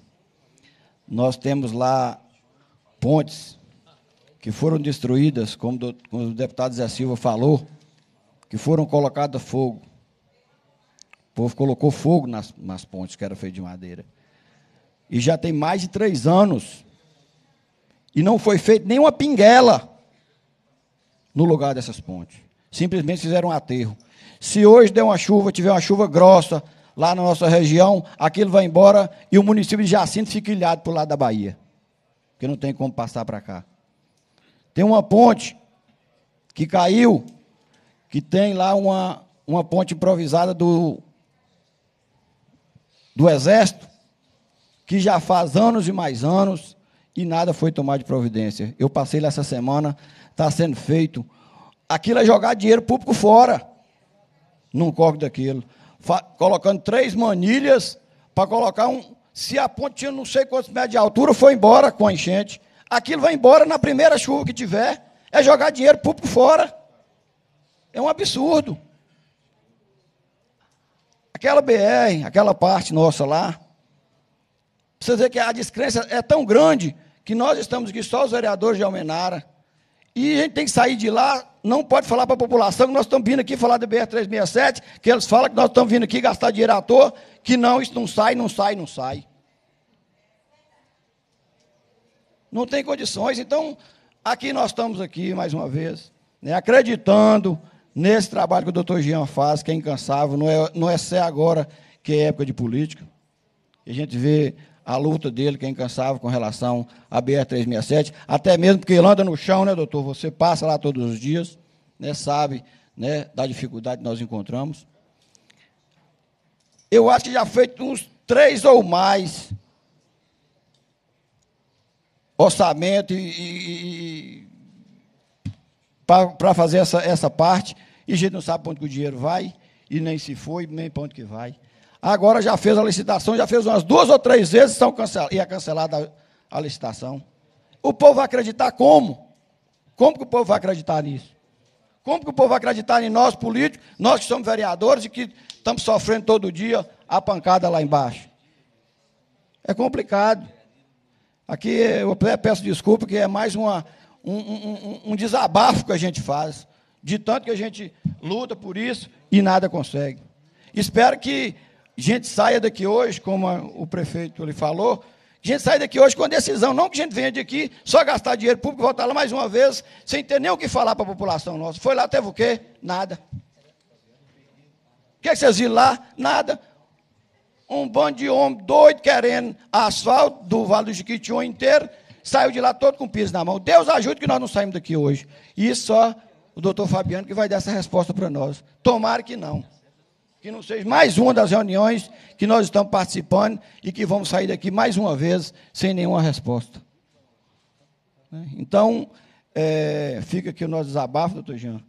É, e nós estamos já com 52 anos vindo isso, e tomara que os nossos netos, eu não sei se eu vou conseguir ver, conseguir passar naquela, naquela naquela estrada asfaltada lá em Porto Seguro, não. Não sei, não. Eu, não, eu sinceramente, não vou falar com vocês que eu não acredito, não, porque, como disse o nosso vereador aqui, nós não podemos desistir. E nós não vamos desistir. Nós não vamos desistir, enquanto a gente tiver força, nós vamos lutar para que essa BR 367 seja asfaltada. Né? Então a gente já fica satisfeito que pelo menos uma parte a gente já está conseguindo é, passar, no, né? faltando pouca coisa para se complementar, e que realmente a, a parte lá de baixo, né, que se fala que é esquecida, vocês imaginam, esquecimento é lá, lá é esquecimento. Né? Que isso seja complementada e que realmente a gente possa é, ter dias melhores e que a gente possa realmente conseguir passar naquela estrada com asfalto. E vocês veem o movimento que agora, nessa época de férias, a quantidade de carro, é o movimento todinho que passa, Montes Claros, essa região aqui do, do, né, do, do Goiás, passa tudo, é tudo, o movimento passa por ali, numa estrada que faz até dó, né? Mas não, na chuva nem se fala, filho, na chuva é uma tristeza. Não, não, não, não pensa não, senão eu vou sair daqui mais triste ainda. Então, é, fica aqui né, o nosso descontentamento. Né, é, a gente viu aqui o deputado Mauro Lopes falar que um já tem 14 anos, mas já passou PSDB, já passou PT, agora MDB, e eu não sei o que, que vem para frente e se realmente nós vamos conseguir. Já vai para 2019, 2020, mas vamos acreditar que um dia saia. Muito obrigado e desculpe pelo desabafo. Obrigado, Romércio. É, gente, eu gostaria de deixar bem claro, eu agradeço os companheiros nas citações ao meu nome, mas eu gosto de deixar muito bem claro, essa não é uma luta do doutor Jean. Essa é uma luta de todos daquela região, de todos homens e mulheres daquela região. Né? Eu gosto de, fizemos uma retrospectiva ali para mostrar é, a luta nesses quatro anos como que foi. Eu vejo os companheiros às vezes falar e penso assim, nós não podemos desanimar. E, e, e, eu acho que não precisa nem o Fabiano dar resposta ao Romércio, não, ele vai dar com certeza, mas eu já posso adiantar, Romércio, que com certeza a, a, a, definição nós não sairemos daqui hoje. Ainda vão ser muitas lutas. Né? Não é a audiência pública que vai resolver. Né? Vocês viram ali imagens que mostram, não é, é, é o Jean. A intenção de mostrar a imagem para mostrar o povo em muitas atividades de luta que tiveram para, inclusive, a, a, a, LMG 677 saísse, como o companheiro falou aqui. Né? Eu acho que o estopim ali foi quando um, um morador lá de Lelivelde faleceu né? É, num acidente que causado pela poeira. Né? Uma fatalidade. É, mas, assim, eu acho que enquanto nós todos, todos, e os deputados, sejam de lá ou sejam de outras regiões, mas que tenham trabalho por lá, não encarar que é preciso, é, mesmo que o deputado é de outra região mais rica, mas é preciso ter um olhar para as regiões mais pobres. Né? E se a gente não tivesse olhar em conjunto, em conjunto, a luta é de todos nós. Né? Eu vou passar a fala agora para o Fabiano, e o Fabiano vai ter que se retirar, né, Fabiano? Está com a agenda. Eu só pediria, Fabiano, que depois, é, eu vou passar, depois de você, eu vou passar a fala para a Liliane, que você pudesse escutar. Eu gostaria muito que você escutasse a professora Liliane. Mas eu gostaria, você quer que eu passe para ela primeiro? Então, eu vou passar a fala para a professora Liliane. O deputado Zé Silva vai ter que sair também. Dizer a vocês, gente, que os deputados votados naquela região foram convidados, tá? E, e todos os deputados estaduais também foram convidados para essa audiência, tá? É, então, agradeço Zé Silva, companheiro que realmente tem somado força nessa luta lá no Vale de Jequitinhonha. Muito obrigado, deputado. Esteja à vontade. Vou passar a fala agora à professora Liliane. Bom, boa, boa tarde a todos a e todas. Acho que a professora tem uma apresentação também. Isso, isso. É, eu resolvi trazer é, um material um pouco mais sistematizado, porque facilita o acompanhamento. Né? Gostaria de agradecer o convite do Filhos do Vale para que eu tivesse aqui hoje e também do Dr. Jean né, falar para vocês, várias pessoas que estão aqui me conhecem, mas principalmente quem é de Chapada, mas quem não é não. Né, eu iniciei minhas pesquisas no Vale do Jequitinhonha em 1994 e desde então eu mantenho contato com a região, principalmente Chapada do Norte. Né, e a minha apresentação aqui vai é, em cima de, dessa experiência de longo tempo de contato e de, inclusive, residência no Vale do Jequitinhonha por alguns anos. É, eu, quando me convidaram para vir falar aqui, eu pensei sobre o que falar. Né? Já, a princípio, peço desculpa para as outras cidades, Minas Novas, Virgem da Lapa e Berilo. Eu tentei falar de todas, mas eu sei que eu não conheço as outras três, como conheço Chapada do Norte. Né? Eu trouxe para vocês, então, a minha proposta é pensar que esse asfaltamento da BR-367 ele é uma necessidade, sem dúvida. Né? É, como o doutor Jean falou aqui, houve um estupim para o asfaltamento de uma, de uma é, estrada estadual que foi um acidente. Né? Eu acho que é, a gente não precisa falar de todo, não só do sofrimento, mas de todo o risco que a população da região corre circulando por essas estradas. Né? Mas, além disso, além de uma necessidade, eu acho que a gente tem que pensar o asfaltamento da BR-367 no trecho Minas Novas Virgem da Lapa como um direito. Então, é reivindicar um direito que é garantido, e é isso que eu espero que a gente veja ao final, inclusive constitucionalmente. Né? Eu gostaria de dizer, é, eu então resolvi trazer um pouco o perfil dos municípios, desses quatro municípios, porque eu acho que eles vão mostrar que é, o, esse trecho é, Minas Novas Virgem da Lapa é um trecho que tem características específicas que fazem com que o direito à pavimentação seja um direito fundamental. Né? A primeira coisa é que a gente está falando uma área que é predominantemente negra. Esses são dados do Censo Demográfico é, 2010. 80,74% da população dos quatro municípios é negra. Vocês pensem ali que é como se a gente tivesse uma pizza de oito pedaços, né? só um pedaço não é negro. Né? Então, a gente está falando de uma região com, uma, com um perfil populacional específico. E ele não tem esse perfil populacional à toa. Né? é interessante pensar que é, o histórico dessa região merece a, é, remete à mineração aurífera no período colonial, sendo a população negra aí predominante resultado do processo de desterritorialização e escravização de negros africanos. Ou seja, aqueles 80,74% de negros que a gente viu que compõem a região hoje estão lá como descendentes dos negros escravizados no período colonial que produziram significativa riqueza desde a época colonial. Né?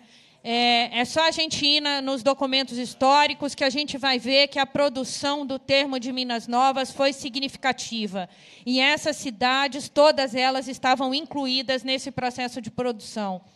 Além disso, essas cidades tinham relevância na administração colonial e articulação com os demais centros de Minas.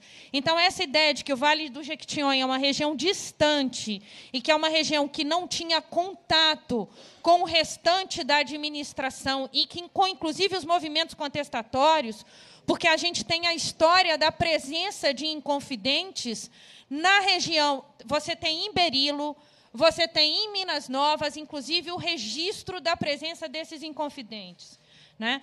E, além disso, é uma região marcada por uma arquitetura colonial significativa. Né? Então, a gente tem um histórico que é um histórico que foi relevante no passado e que é relevante no presente. Né? O que, que acontece com esses municípios, esses quatro municípios? Existe uma, um abandono da região pelo poder público após a decadência da mineração aurífera. A gente está falando ali do, ainda do final do século XVIII, início do século XIX. A gente já começa a ter uma decadência na região e você começa, então, a ter essa ruptura da relação da região com os outros centros históricos e dificuldade de acesso a serviços públicos básicos que estão lá hoje, né, como água tratada, saneamento, atendimento médico e procedimentos de saúde mais complexos e educação. Bom, toda, todos esses serviços públicos de responsabilidade também estatal e para o qual a ausência de pavimentação da BR-367 traz ainda maiores comprometimentos. Além disso, a gente tem uma situação regional que é a necessidade contemporânea de migração da população, principalmente masculina, para trabalhos em outras regiões do país, com problemas crescentes devido à mecanização de trabalhos agrícolas, como corte de cana e colheita de café. Quem é da região sabe que a população rural da região precisa sair todo ano, fora os que já saíram de maneira mais permanente para os, para os grandes centros do país, porque não tem trabalho local. E mais, esses processos de mecanização, eles têm provocado, inclusive, uma dificuldade dessa população de ter acesso a trabalho fora. E aí eu retomo aqui a fala do Anísio, né, de que o trabalho dos moradores locais gera desenvolvimento e riqueza de outras regiões, enquanto a sua própria região permanece esquecida. Não foi um, nem, do, né, né, nem foram dois os casos de acidentes com esses migrantes sazonais voltando para a cidade com situações bastante graves, mortes, situações de invalidez. E são pessoas que, nas regiões de, de destino, vivem em situações precárias e não têm os direitos básicos garantidos. Então, a gente também não está falando de uma região que está esquecida porque não tem um povo muito trabalhador, não. A gente está falando de um povo trabalhador que tem, inclusive, nos últimos tempos, que além das, da produção agrícola, você começa a ter gente indo para o sul do país para vender coisas em época de temporada em praias, porque a região não oferece a possibilidade de sobrevivência lá. Né? E aí a gente pode, de novo, perguntar como uma região que não tem uma interligação mínima por vias de acesso decentes vai conseguir reverter esse quadro. Mas eu gostaria também de chamar a atenção, e aí eu peço desculpas às cidades, porque a gente está falando de quatro cidades que, além desse perfil geral, têm méritos específicos muito importantes. Né? Eu trouxe ali uma imagem do casarão em Minas Novas, que é um prédio que representa uma arquitetura colonial muito importante. Né? Esse prédio é um prédio com um perfil bastante específico. Né? Minas Novas também apresenta festas populares importantes, como a festa de Nossa Senhora do Rosário e o Carnaval e é um importante centro de produção de artesanato de barro do Vale do Jequitinhonha. Eu trouxe ali à esquerda uma imagem de uma das magníficas bonecas da Zezinha. Né? Talvez a Zezinha seja hoje a principal bonequeira viva do Vale do Jequitinhonha, com a morte né, de Dona Isabel. Eu diria que Zezinha hoje é uma das representantes, né, uma artista do barro, né, que é relevante nacionalmente, e aí isso é uma coisa cruel no Vale. Você tem a presença do artesanato do Vale nos grandes é, museus do país, e a ausência aí é como se esse artesanato não fosse feito por pessoas que precisam de condições dignas de vida. Berilo, né? Berilo também tem uma produção própria importante. Eu sempre peço desculpas às pessoas, é, primeiro porque o tempo é curto e depois porque com certeza eu não vou dar conta de tudo que cada cidade tem, né? Mas Berilo tem uma é importante produtora de colchas artesanais de, de algodão, né, de roças grandes que são conhecidas em todo o Vale do Jequitinhonha e que mantém a tradição da tecelagem do algodão, né? Você tem presen a presença de uma família de ourives, o, o, pai se chama Seu Rito, né? existe inclusive um documentário sobre essa produção de joias de coco e ouro e filigrana em ouro, que trabalham com técnicas portuguesas antigas. Eu, eu diria, eu não sou uma especialista na área, mas que essa família é a, faz o melhor trabalho de ourivesaria em coco e ouro que eu conheço. Né? Eu não conheço em Diamantina um trabalho igual. Né? Infelizmente, menos conhecido no restante do país do que devia. E, além disso, Berilo tem uma história triste, porque perdeu um templo do período colonial, que é a Igreja de Nossa Senhora do Rosário, Né? O Alê do Rosário, que é uma pessoa importante do, do Congado de Berilo, inclusive me pediu. Eu tinha algumas imagens dessa igreja do Rosário já é, parcialmente destruída, uma época que eu fui lá ainda na década de 90, mas eles não tinham nem mais imagens da igreja. É, foi um templo colonial que acabou em completa ruína, o que faz a gente de novo pensar na, é, na, no descaso né, e na inação do poder público na região. Opa. Virgem da Lapa. Né? Virgem da Lapa tem a realização de uma festa em homenagem à Virgem da Lapa, que atrai romeiros não apenas de cidades de, vizinhas, mas de várias regiões do país. A Romaria de Virgem da Lapa é uma romaria. É, não sei se existe outra romaria tão relevante no Vale do Jequitinhonha quanto ela. Né? E é uma cidade que, com só 13.619 habitantes, possui 20 comunidades quilombolas. Eu queria também, eu achei que eu tinha colocado ali no slide me esqueci, de chamar a atenção para vocês que nessas é, quatro cidades você tem 55 certificações de comunidades quilombolas expedidas pela Fundação Palmares. Isso quer dizer que as quatro cidades reúnem quase 17% das certificações de comunidades quilombolas em Minas Gerais. Tá? Em Minas Gerais, nós temos 312 comunidades quilombolas. Nas quatro cidades, nós temos 55 certificadas, porque o número é maior. Certo? Só em Berilo são 20. Só em Virgem da Lapa são 20.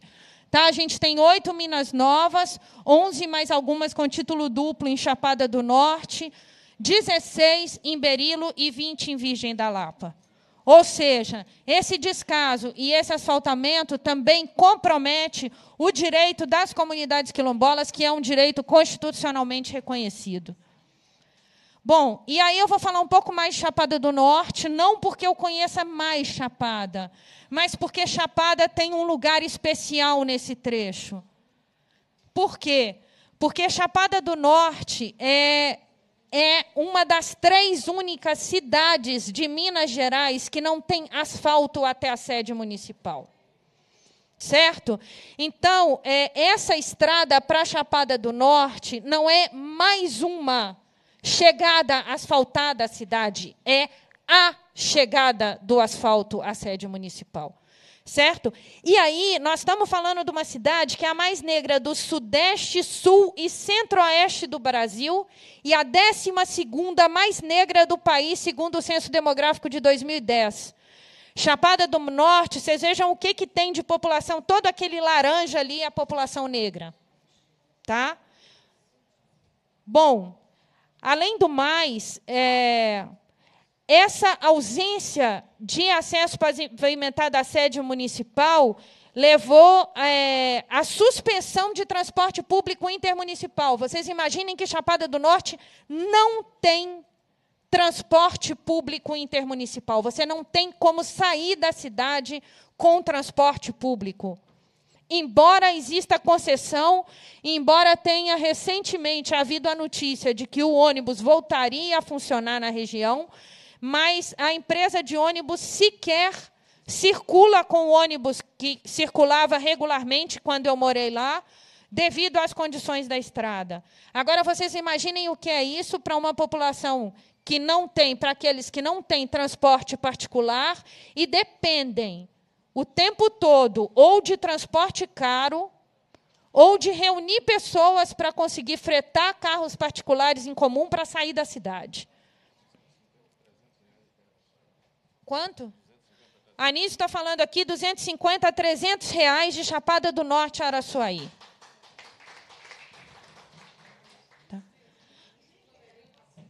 Pois é, e aí é, a Iris falando ainda o quanto é difícil, mesmo por esse valor, conseguir. Vocês imaginem isso numa região de população com renda média mais baixa do que no restante do estado.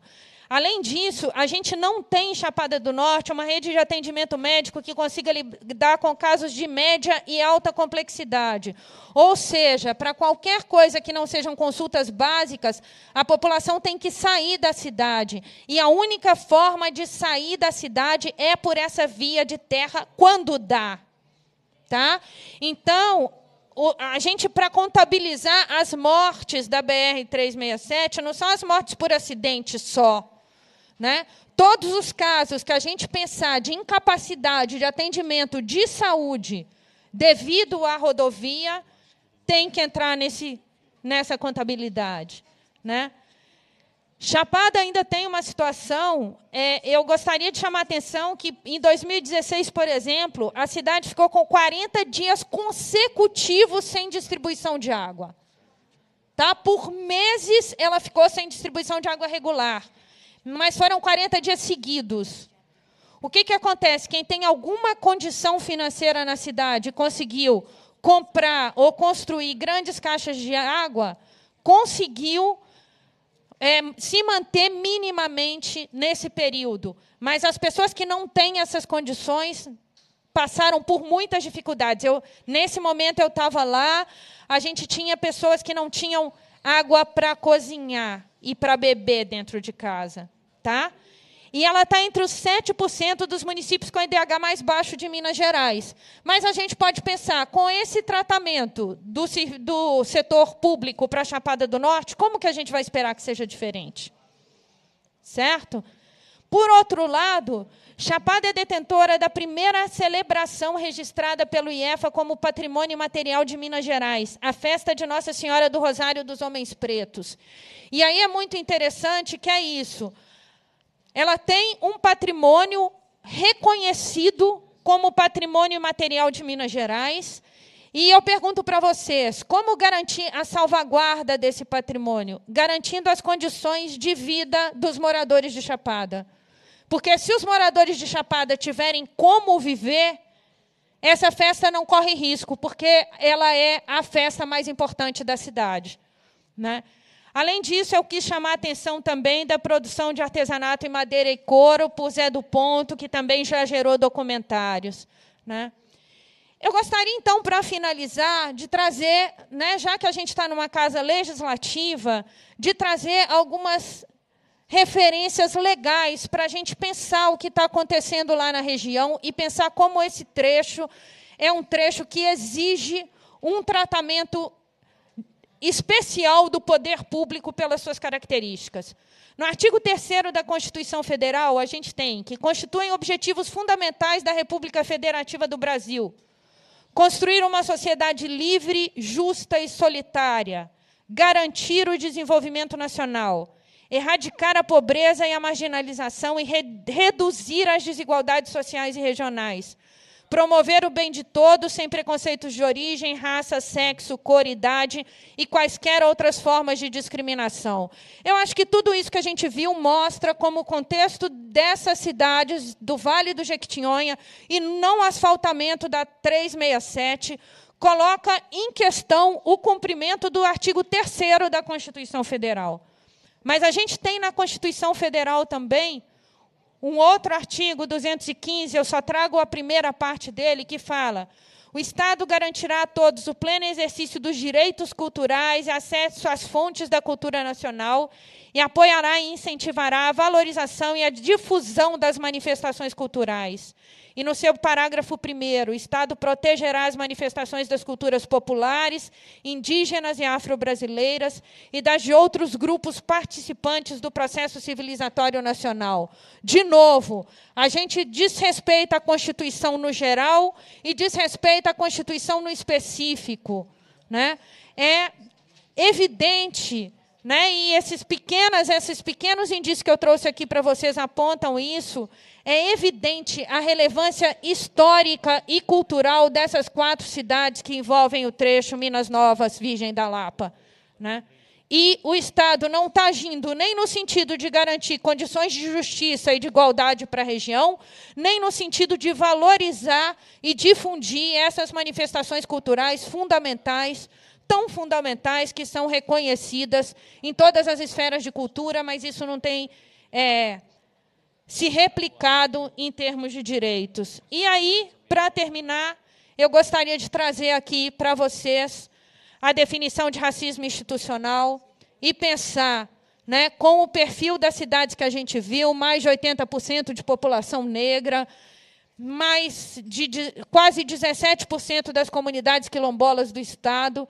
Eu gostaria de perguntar para vocês: isso não é racismo institucional? Se a gente pensa na definição, compreendemos o racismo institucional, também denominado racismo sistêmico, como mecanismo estrutural que garante a exclusão seletiva dos grupos racialmente subordinados, negros, indígenas, ciganos, para citar a realidade latino-americana e brasileira da diáspora africana, atuando como alavanca importante de exclusão diferenciada de diferentes sujeitos nestes grupos.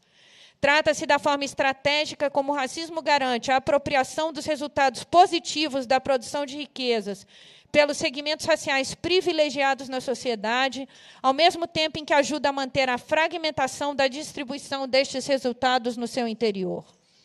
Racismo institucional ou sistêmico opera de forma a induzir, manter e condicionar a organização e a ação do Estado, suas instituições e políticas públicas, atuando também nas instituições privadas, produzindo e reproduzindo a hierarquia racial. Com isso eu termino conclamando né, ao Fabiano, que vai falar aqui depois de mim, a todas as autoridades presentes, que pensem na responsabilidade pública com relação ao Vale do Jequitinhonha e na responsabilidade pública em romper esse contexto de desigualdade e o racismo institucional que marca a relação do poder público com a região. Era isso. Obrigada.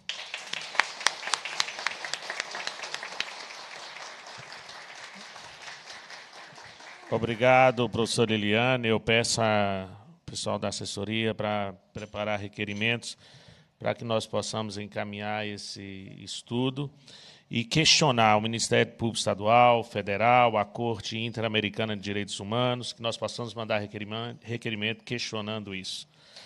É, eu passo agora a fala ao Fabiano, e me permita, Fabiano, eu e o Fabiano nos conhecemos, se eu não me engano, há uns três anos atrás. Ele já era superintendente no, no nosso governo e eu conheci o Fabiano. É, sempre que solicitei, o Fabiano me atendeu muito bem. Em alguns momentos, e eu brinco com ele sempre peço desculpas, em alguns momentos eu mais nervoso. Né? Eu me lembro de algumas vezes que eu entrei no DENIT e falava com ele, ó oh, Fabiano, as fotos aqui do DENIT tá muito bonitas, essas essas BRs bonitas aí, nós temos que colocar as BRs de lá do Jequitinhonha. Mas eu quero aqui deixar, Fabiano, esse testemunho que você, é, como agente público, sempre de maneira indistinta, sempre nos recebeu muito bem, tá?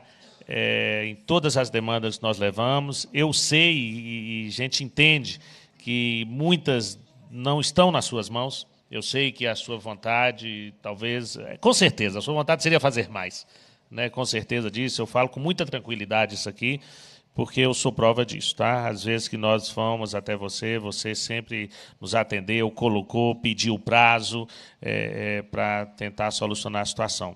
Essa situação da, da estrada não é de agora. Lembrar que o governo federal é, é passado colocou recurso para, inclusive, fazer o projeto no governo estadual daquela época Lembrar que a licença ambiental, é, quando o país estava em condições melhores, inclusive de fazer o trecho lá de baixo, e, e acho que o Fabiano vai especificar isso aqui para nós também, que o deputado Reginaldo colocou aí, é, naquele momento que tinha mais recursos, não tinha licença ambiental. Né? O governo do Estado, naquela época, não deu licença ambiental e depois concedeu. E agora já temos também a licença ambiental do trecho lá em cima. Então, eu queria aqui ser testemunho disso, né? ou aqui ou em Brasília, onde toda a audiência você sempre esteve presente. Meu muito obrigado por mais essa presença. Com a fala, o Fabiano. Bom, boa tarde a todos. Queria aqui, na pessoa dos deputados presentes, o que preside essa sessão, o doutor Jean, e também do padre João, cumprimentar todas as autoridades presentes, e se me permitem quebrar um pouco do protocolo, né? tantas autoridades, vereadores, prefeitos, vamos direto às informações que a sociedade tanto anseia. A exemplo do, do que sempre faço, doutor Jean, não só quando recebo vocês, parlamentares, os próprios vereadores e prefeitos lá no DENIT, ou quando os acompanho em audiências é, no Ministério dos Transportes, às vezes em algum gabinete lá pelo Congresso Nacional, nas comissões do Congresso, eu gosto e prezo por tratar os assuntos com a devida responsabilidade que merece e trazer a informação real no momento em que estamos. Assim como o senhor mesmo disse, nas primeiras visitas suas não foram muito agradáveis, precisamos dizer isso, tanto para o senhor quanto para mim. O senhor cumprindo o seu papel institucional de cobrar, eu, recém-chegado ao órgão, herdando um passivo de décadas e sem instrumentos para atender as demandas que eram apresentadas. Mas aquela época, eu acho que a gente já superou essas questões desagradáveis. Nós já tivemos, já estamos aqui à frente da Superintendência de Minas há cerca de dois anos e meio, com uma equipe maravilhosa, assim como lá no Vale do Jequitinhonha, essa equipe do DENIT no estado de Minas, que se representa em 15 cidades no interior, mais uma sede aqui, é uma equipe de gente que trabalha, que trabalha sério, que tem compromisso e comprometimento com aquilo que se envolve, que nesse caso específico são as obras de infraestrutura do Estado, aqui no Estado, obras de infraestrutura do governo federal. Eu preciso, antes de adentrar nas informações específicas das rodovias, se o senhor me permite, e com todo respeito, eu preciso contrapor algumas coisas que foram colocadas, não no intuito de confrontar, mas de levar a real informação. O nosso amigo aqui, o Romério, principalmente, Romério, porque é o seguinte: aquela bendita ponte do Rubim, que foi incendiada por vândalos, e eu digo que isso eu vou fazer uma, uma metáfora aqui, é como se a gente sentasse na ponta do galho e serrasse o galho. Isso é burrice. Se a pessoa que utiliza uma ponte, ela precisa dela para fazer o transporte, para se transportar, para se comunicar de um município com o outro, ele vai lá, incendeia aquela ponte e fica sem ela. Me perdoe a ausência de quem fez, espero que não esteja aqui nesse público. Isso é burrice. Aquela bendita ponte, nós levamos quase dois anos completos, deputados, para conseguir uma licença para fazer três furos de sondagem para fazer o nosso projeto. Não é para fazer a ponte, não. É para fazer a sondagem e termos elementos para construir a ponte. Então, eu preciso que vocês entendam que nós, servidores públicos, temos diversos desafios. E aqui dentro do Estado, essa questão ambiental, sobremaneira, é um desafio quase que intransponível, às vezes. A gente precisa ter um exercício de paciência, de dedicação e de boa interlocução que a gente tem com os órgãos e de respeito mútuo para conseguir viabilizar licenças tão importantes quanto esta que nós tivemos o prazer de mostrar em Almenara, em uma audiência que a gente teve, que foi concedida pela Supram, ainda que no verso trouxesse uma lista de trinta e tantas condicionantes, que não foi informada naquele momento, e que o DENIT está cumprindo item a item das condicionantes para poder viabilizar aquela tão importante obra. Então, Romero, não é tão simples se esse gestor, os prefeitos que estão aqui presentes, sabem disso. Se a gente deixar de atender uma condicionante ambiental, se eu autorizar o meu técnico ir lá fazer esse furinho lá, que é a sondagem para fazer o projeto da Ponte do Rubim, sem a devida licença ambiental, esse gestor aqui vai para a cadeia. Mais rápido que se eu matar um de nossos colegas. Então, nós precisamos ter a responsabilidade de cumprir a legislação e quem está na ponta precisa entender que esse tipo de vandalismo não é o caminho para conseguirmos chegar, por exemplo, à pavimentação da 367. Então, dentro dessa linha, a gente faz sempre a divisão de responsabilidades, deputados. Compete à equipe do DENIT, que é o braço executor do Ministério, promover e adequar as questões técnicas, deixar em condições técnicas e administrativas as obras de forma que seja viável os parlamentares colocarem as suas rubricas, colocarem suas emendas, e aí entra o papel do parlamentar, que é colocar, de fato, recursos para que as obras sejam executadas. Então, dentro dessa linha, é, eu preciso dizer que hoje, ah, transpassado alguns anos já aqui à frente da superintendência, nós temos tido também a responsabilidade de fazer uma divisão uniforme, equânime, dos recursos que são disponibilizados para nós para manutenção. Então, quando diz aqui, eu respeito o trabalho dos antropólogos, assim como respeito o trabalho dos ambientalistas, dos desenvolvimentistas, a gente é uma, é uma equipe que, inclusive, temos de todas essas categorias, de todas essas classes, de entes que compõem a nossa equipe lá. Mas não dá para dizer que o DENIT Minas, isso também sobre dados técnicos que são incontestáveis, que podem ser fornecidos não só para a Assembleia, quanto para qualquer pessoa do público que tiver, é, tiver essa curiosidade, os recursos vêm sendo distribuídos uniformemente pelo Estado, independente se está no norte, independente se está no, no Vale de Jequitinhonha, se está no Triângulo, se está no Sul, se está no Sudeste. Nos últimos dois anos foram investidos naquela 367, nos 200 quilômetros, 290 quilômetros, que vai da divisa lá com a Bahia até a cidade de Araçuaí, em manutenção, aproximadamente 25 milhões de reais. Tá certo? Então, quem passou lá dois anos atrás e passa hoje, ainda que não esteja uma maravilha, e sabemos que não está mesmo, e que para isso precisamos pavimentar, foram investidos recursos com sinalização, com a segurança do usuário. Quem transitava ali de Jequitinhonha para Suaí sabia quanto era impossível transitar naquilo ali. Quem levava duas horas, três horas, hoje faz com menos de uma hora. Então, esse esforço que a gente vem fazendo, ainda que o avanço não seja tão significativo, ele precisa ser comemorado, sim. E precisa ser louvado o ato de fazer o que tem que ser feito, no momento que tem que ser feito, com o recurso que é disponibilizado. Não adianta nada eu chegar aqui e dar uma. É, empurrar o assunto com a barriga, dizer com, com leviandade, olha, voltem para suas casas tranquilos, o DENIT, o Ministério dos Transportes, está trabalhando, vamos iniciar a obra na semana que vem. Isso não vai acontecer.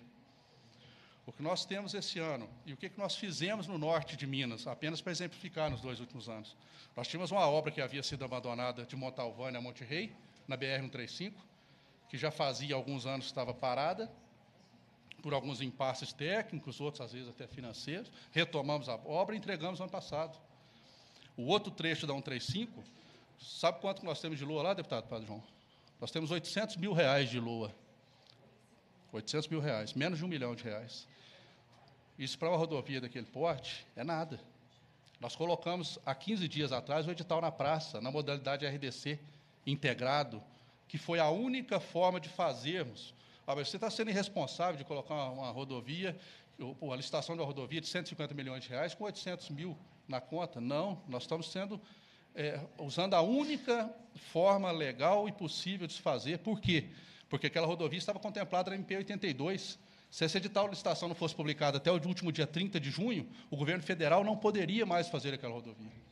E nós todos sabemos que, embora haja o esforço do governo do Estado, haja o esforço do governo dos municípios, é, todos os órgãos, de uma forma geral, em todos os níveis, municipal, estadual federal, está todo mundo sem dinheiro, sem recurso. E entre os três entes, o que mais tem condições de fazer a rodovia é, com certeza, o federal. Então, BR-135, Manga e Itacarambi, está com edital na praça. Vamos abrir nos próximos dias. A BR-367, de Salto da Divisa a Jacinto, verdade, sim, que foi republicado várias vezes. Por que foi republicado várias vezes? Não se tem obra de grande porte no país nesse momento. São pouquíssimos os editais do porte da obra 367 de Salto de Divisa. Isso chama o holofote de todas as grandes empresas para dentro do edital. Nós recebemos, em menos de uma semana, uma, mais de uma centena de questionamentos.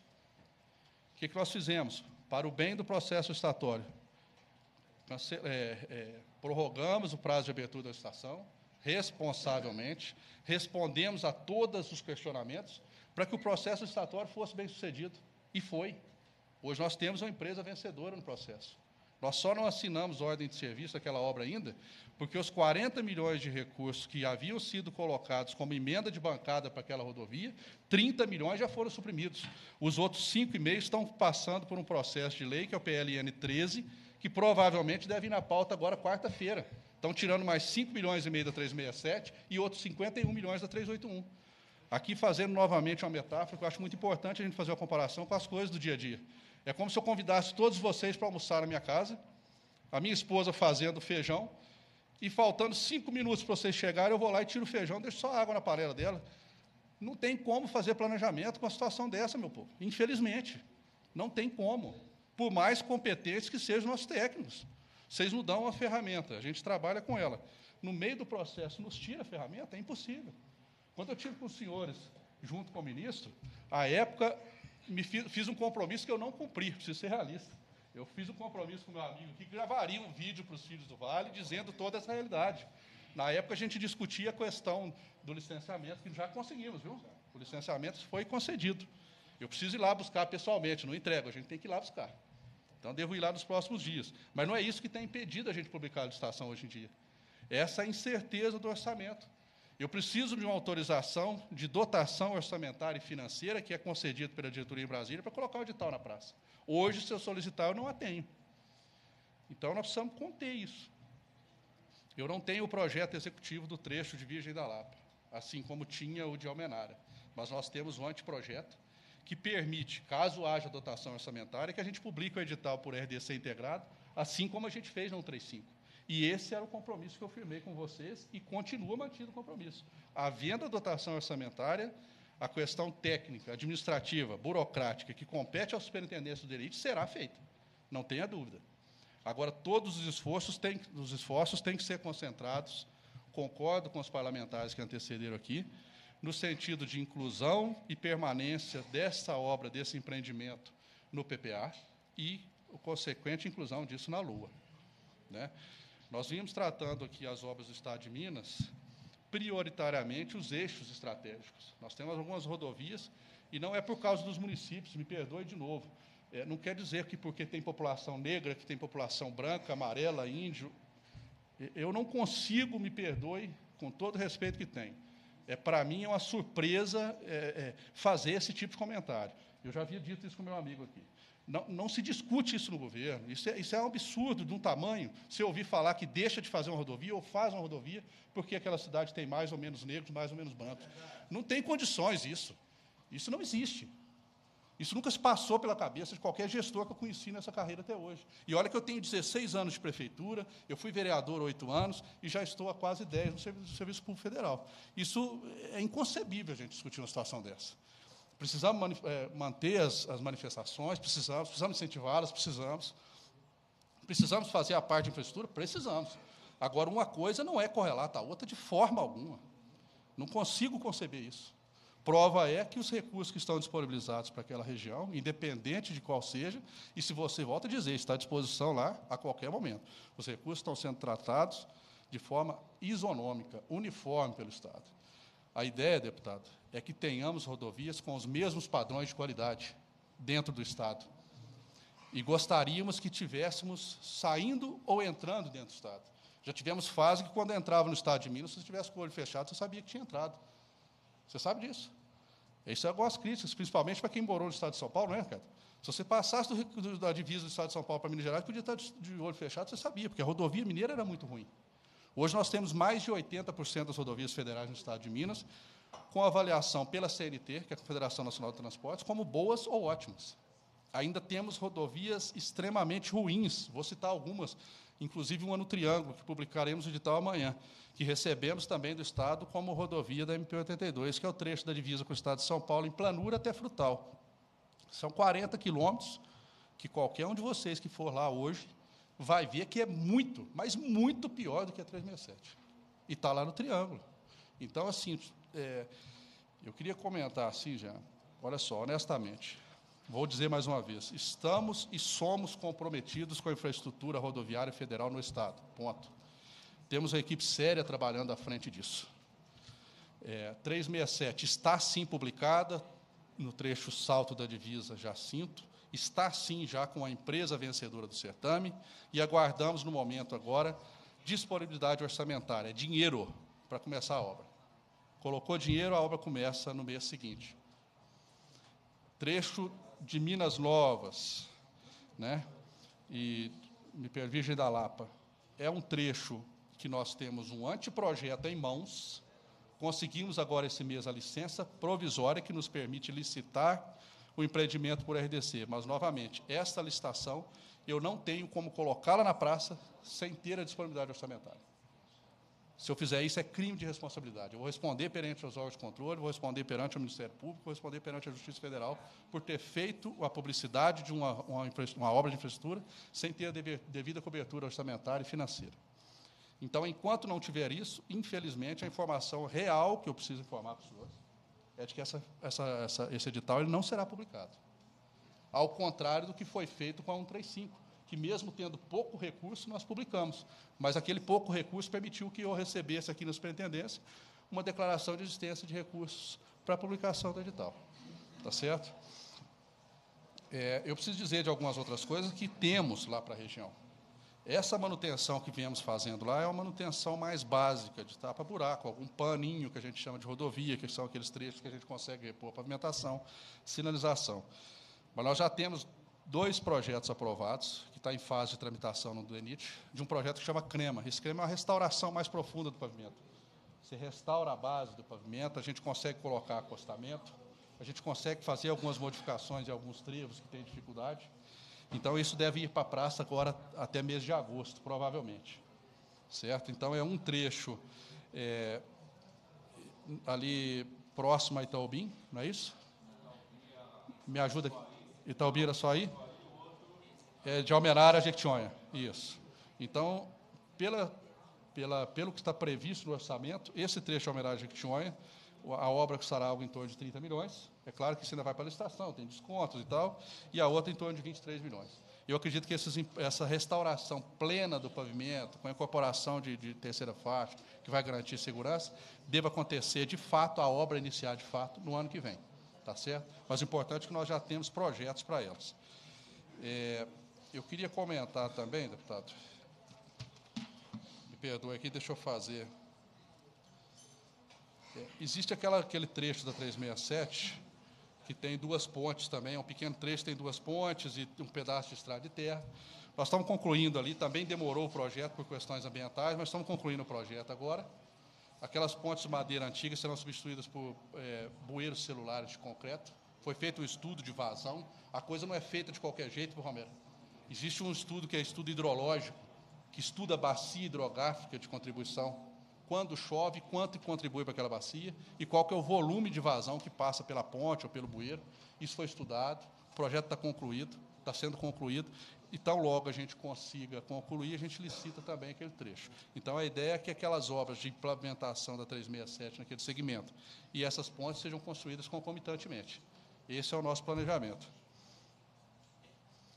É, Quero concluir aqui, doutor, mais uma vez, assim, pedindo desculpas é, é, se, se a forma de me expressar tenha sido ofensiva com quem quer que seja, mas eu tenho esse defeito. O senhor já me conhece há algum tempo. Eu sou muito objetivo. Não, eu não fico apertado quando eu tenho, é, quando eu tenho conhecimento daquilo que eu estou falando, e principalmente quando eu estou tranquilo no que diz respeito ao meu cumprimento do dever para o qual fui contratado. Então, isso não me aperta. Tanto é que eu vou colocar à disposição o microfone agora para qualquer dúvida que esteja ainda sobre esse trecho. Se vocês quiserem qualquer dúvida, estou aqui à disposição para poder esclarecer. Só um momento. Nós vamos a, a, aproveitar que o Fabiano está aqui e ele vai ter que se retirar. Então, assim, para que a gente possa ser direto é, e fazermos a, a pergunta a ele tá, gente? Uma pergunta objetiva aí, tá? Antes que ele saia. Então, nós, o, o Padre João quer fazer uma pergunta ao Fabiano. Primeiro, parabenizar Vossa Excelência, deputado doutor Jean Freire, pela a, a iniciativa, pela luta que vem de anos. E, na oportunidade também, aqui está agradecendo Fabiano, das vezes que a gente também tem solicitado uma prontidão em atendimento, em outras questões também, como a Vossoroca, vários desdobramentos que tem, é, aqui agradecer, inclusive lá do, do Alto Jequitinhonha, já teve, tivemos algumas questões. É, é só para, talvez, Fabiano, para trazer ainda mais essa realidade que acho que aí facilitaria os encaminhamentos e as falas de vereadores e prefeitos, alguma outra questão. Me perdoe a comparação.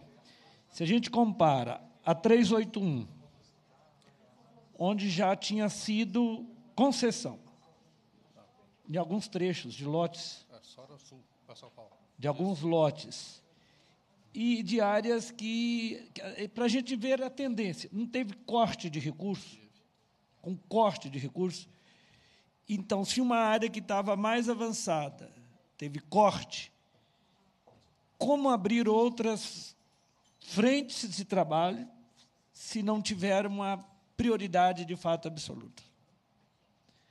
Porque, na minha visão, se não tiver um compromisso dos 53 deputados da bancada mineira, frente ao governo federal, e, sem a vaidade de quem é o pai da criança, o tal e tal, é um compromisso com a região, eu não vejo ter força política para fazer com que o governo federal enxergue em nível de Brasil, porque tem que olhar em nível de Brasil.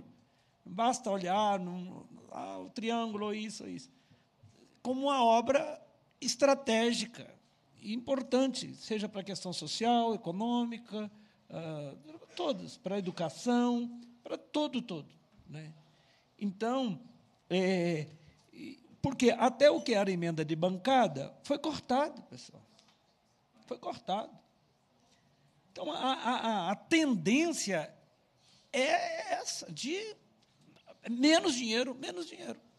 E se a gente não reverter a própria emenda constitucional 95, emenda constitucional 95, onde falta dinheiro para educação, falta dinheiro para saúde, para ação social, as partes estruturantes, a tesoura está. Programas que os senhores conhecem, como programa de aquisição de alimento, o orçamento para esse ano foi de menos de um milhão. Nós chegamos ao orçamento para o Brasil, de um milhão para o Brasil. É o, o orçamento que foi para a Câmara. Recompusemos, depois teve outro corte. Do, do, do, do para a educação quilombola, indígena, não tem. Então, é, é só para provocar que antes das falas, que se não tiver um pacto, e é estratégico. Não pense vocês que o ano de eleição é um problema, que vai ter enganação, não sei o quê. Não, ai, é estratégico. De apertar de ponto contra a parede os parlamentares, é o quem tem voto. E, porque eu não vejo isso. Se não tiver essa força política, e nós não temos. Né, qual, nós não temos ministros. Não temos ministros. Os senadores, não vejo compromisso. Vocês podem me achar que eu sou suspeito de dizer, mas não vejo nenhum compromisso dos senadores em, em abraçar uma causa que seja estratégica. Então, o que resta é, é a bancada. Agora, sem ter vaidade.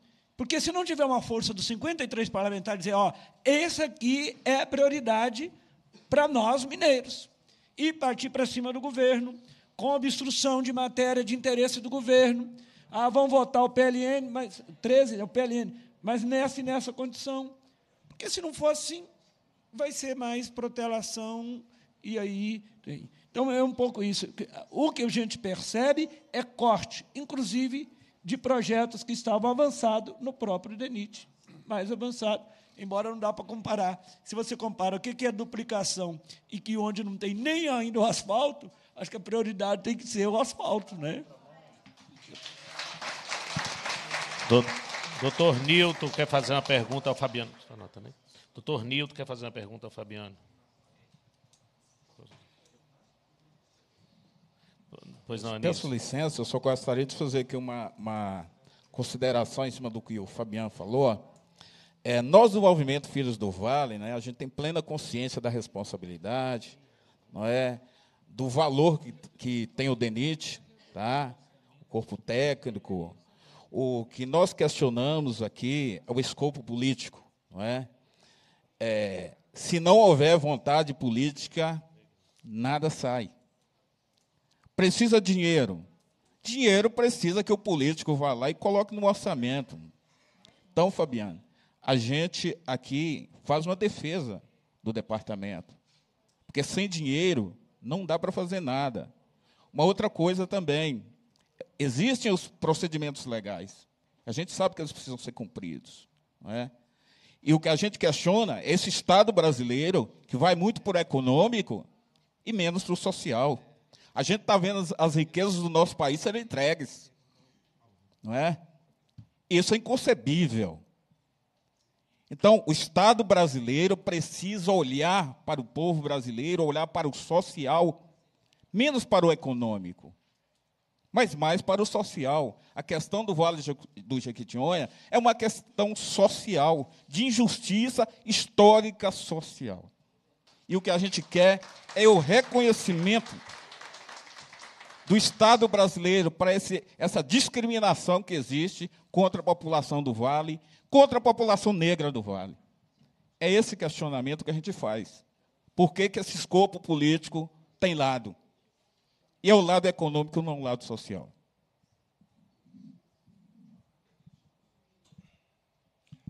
Boa tarde a todos. Gostaria aqui de agradecer o doutor Jean e deixar claro, esclarecer também que, na verdade, essa audiência pública ela foi solicitada por mim em nome do movimento Filhos do Vale. Porque quando nós estivemos. Quando nós estivemos lá em Brasília, o doutor Jean estava presente, o Fabiano, vários deputados federais, alguns estiveram aqui, já foram embora. Nós tivemos lá na, naquela ocasião sete deputados federais e o doutor Jean. E alguns prefeitos também, de Chapada, de Berilo, vereadores, presidente de Câmara, estavam todos lá. Nós tínhamos 19 pessoas em Brasília no dia da audiência com o ministro.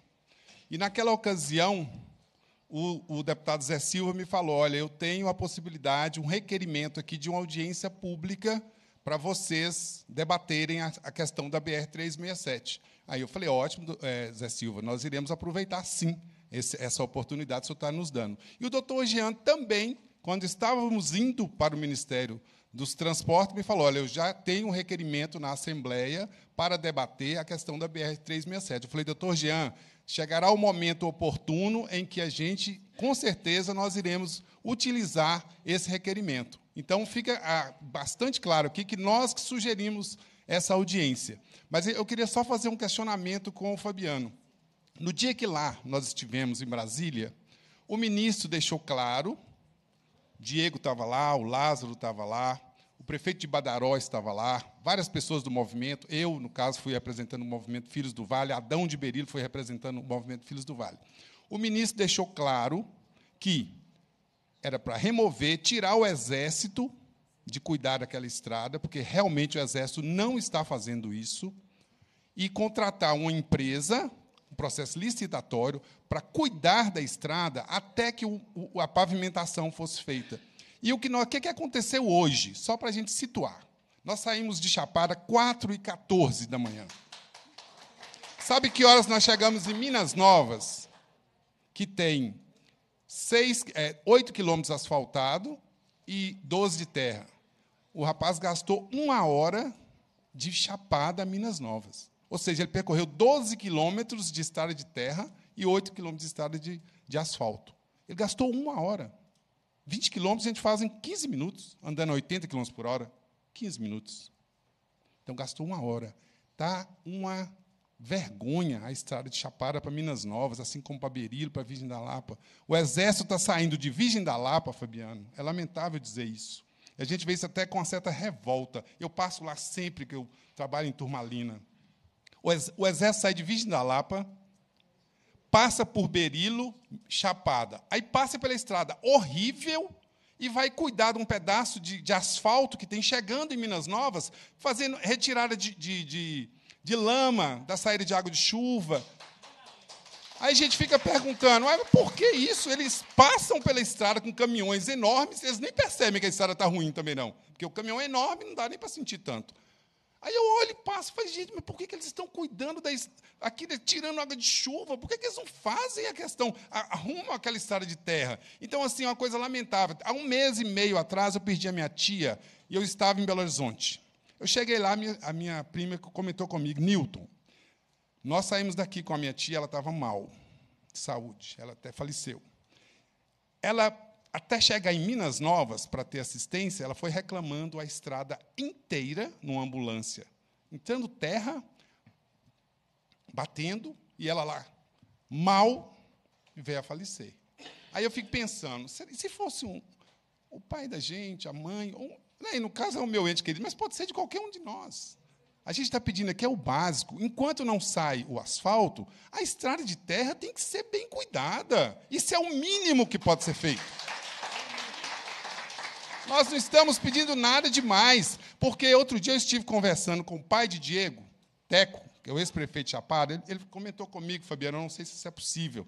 Ele falou, por que, que o governo federal não passa esse recurso para as prefeituras de Chapada, de Berilo? Você concorda, Lázaro, Diógenes, que isso é possível? Se passar o dinheiro para as prefeituras, eu tenho certeza que Berilo pega 10 quilômetros, Chapada pega 10 quilômetros e vai zelar daquela estrada, vai cuidar dela e ela ficará em plena condição de, de, de transporte. Agora, o que não pode, nós temos lá dois anos o Exército, a estrada, gente, a gente passa lá, nós passamos lá, nós gastamos uma hora, 12 quilômetros. Não é possível. Então, assim, eu gostaria que o Fabiano respondesse essa questão para a gente, porque isso ficou acertado no dia que nós estivemos lá com o ministro, há uns dois meses e meio atrás, mais ou menos, Fabiano. E, assim, nós sabemos que foi colocado aqui pelo, pelo Zé Silva, da PPA, e, assim, sabemos que, a, a, que, na verdade, o objetivo principal dessa audiência é outra coisa que eu quero deixar claro.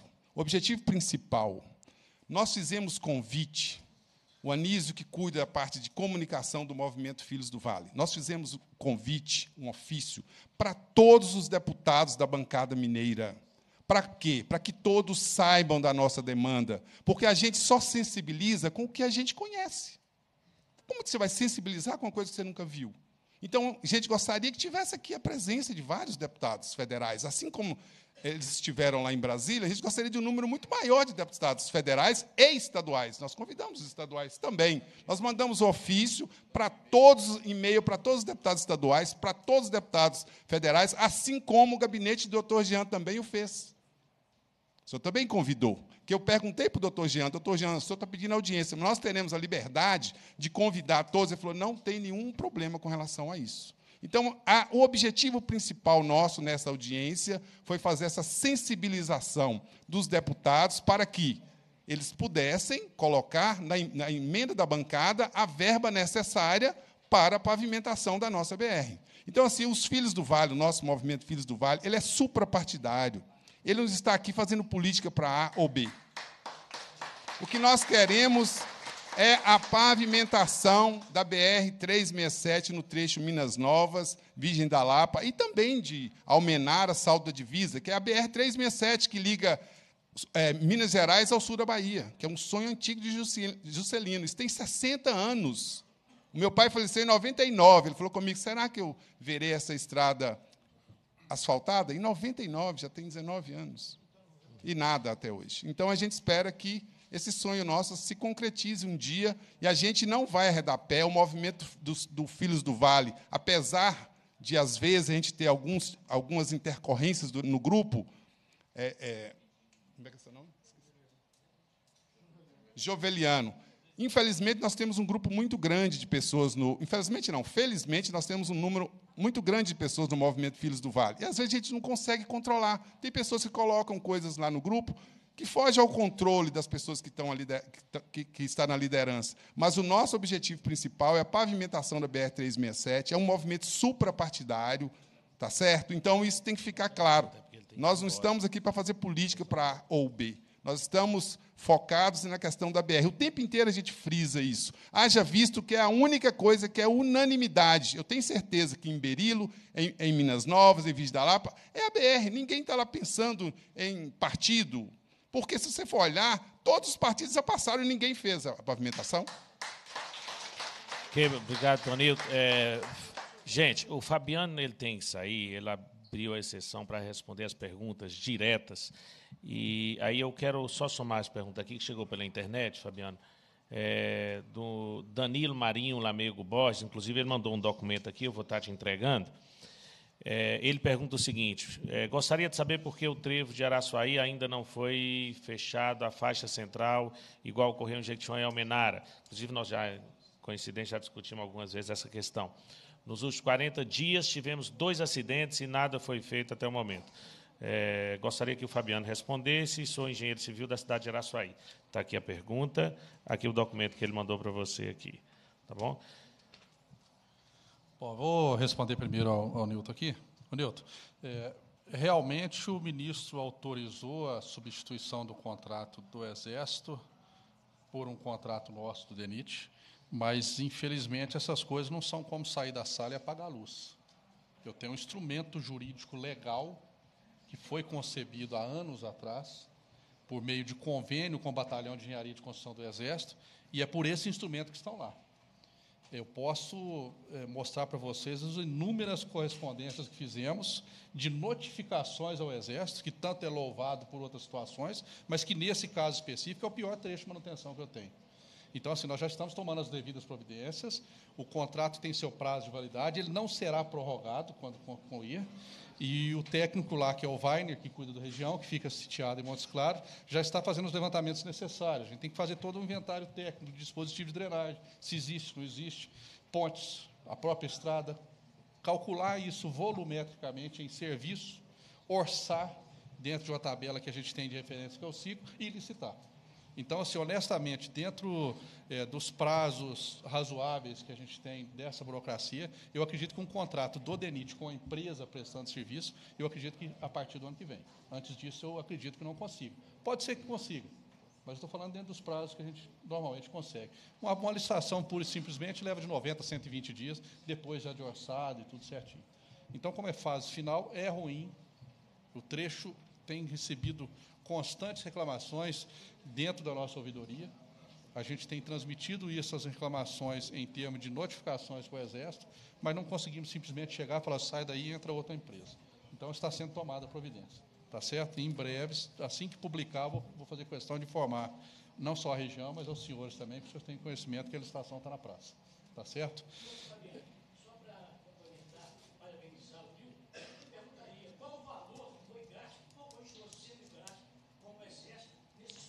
Eu... Sim, meu amigo, mas não é isso no governo público, no serviço público, não é igual a gente contratar e mandar embora uma faxineira, um negócio não. É, o negócio é mais complexo. Agora, os valores, os valores eu posso informar, se o senhor deixar um e-mail com, com a minha equipe aqui, porque eu não tenho isso de memória, são 200 contratos no Estado. Então, tá? Se puder pegar o e-mail dele, a gente manda o valor que foi gasto com o Exército lá, não tem problema não, tá certo? No que diz respeito ao Danilo Marinho, é, lá de Araçuaí, essa mudança já foi solicitada mesmo algumas vezes, a exemplo que tem a Almenara, que, que, o pessoal deixa de passar no eixo da rodovia e usa a rotatória para diminuir a velocidade. Então, ela está sendo estudada já pela equipe técnica lá, em breve, provavelmente será implantada. A gente está precisando de uma instalação de uns radares na região também. É, esse contrato dos radares, ele é, a gestão dele é feita pela coordenação em Brasília, Existia um processo licitatório que vinha se arrastando há mais de um ano, por conta de ações na justiça é, e tal, mas parece que agora vai desembolar. Assim que a gente conseguir implantar esse radar lá que diminui a velocidade, a gente precisa oferecer segurança. Não adianta só interromper, sinalizar a interrupção do tráfego. Então, isso está sendo providenciado. É, em breve a gente vai atender essa solicitação lá da região. Mas o mais importante e a solução definitiva provavelmente virá dentro desse projeto CREMA que eu falei que está em, aprovado e que a gente vai licitar esse ano. Porque algumas adequações geométricas são feitas nesse trevo e pode ser que a gente consiga melhorar lá também a condição de, de segurança. Ô, Fabiano, é, só para sobre o trecho Almenara a Salto da Divisa. É, pelo que você deixou claro aqui, nós não temos data para começar. Não nós... temos data, não temos data. É, como eu disse antes, é, a superintendência publicou, realizou o procedimento licitatório, selecionou as empresas, avaliou a questão documental, técnica e administrativa da empresa vencedora e estamos nessa fase agora. É, a gente precisa, para assinar contrato, a gente precisa primeiro empenho. Para conseguir empenho, a gente tem que ter dotação orçamentária, que nesse momento nós não temos disponível. Então, dos 40, era 40 milhões de emenda, foram 30 já foram ceifados e outros 5,5 estão nesse PLN 13 de 2018, que provavelmente deve ir na pauta do Congresso nessa quarta-feira. É, só para objetivar também, doutor Jean, se esses 5,5 não forem retirados, com os 10 milhões existentes, a ideia nossa do DENIT é dar ordem de serviço para a empresa vencedora e começarmos pelas obras de arte, pelas pontes, que esse recurso dá para trabalhar com, com as pontes até que seja viabilizado o recurso no ano que vem. E nós já conversamos com a empresa, a empresa está disponível a, a se mobilizar para fazer as pontes. Mas se for cortado... Se for cortado, sem chance, sem chance porque aí não, não paga nem a mobilização da empresa com os equipamentos e tudo tem que ser feito. Isso é interessante para quem está nos ouvindo, quem está nos assistindo, gente, porque assim, a, todo o tempo nós temos falado isso, todo o tempo. Né? É porque aparece alguns e lança videozinho e não sei o que lá, e que a obra vai sair, bererê, bererê, bererê. E todo tempo nós temos falado, porque principalmente por ser ano eleitoral, né? Isso é importante para quem está aí nos ouvindo, né?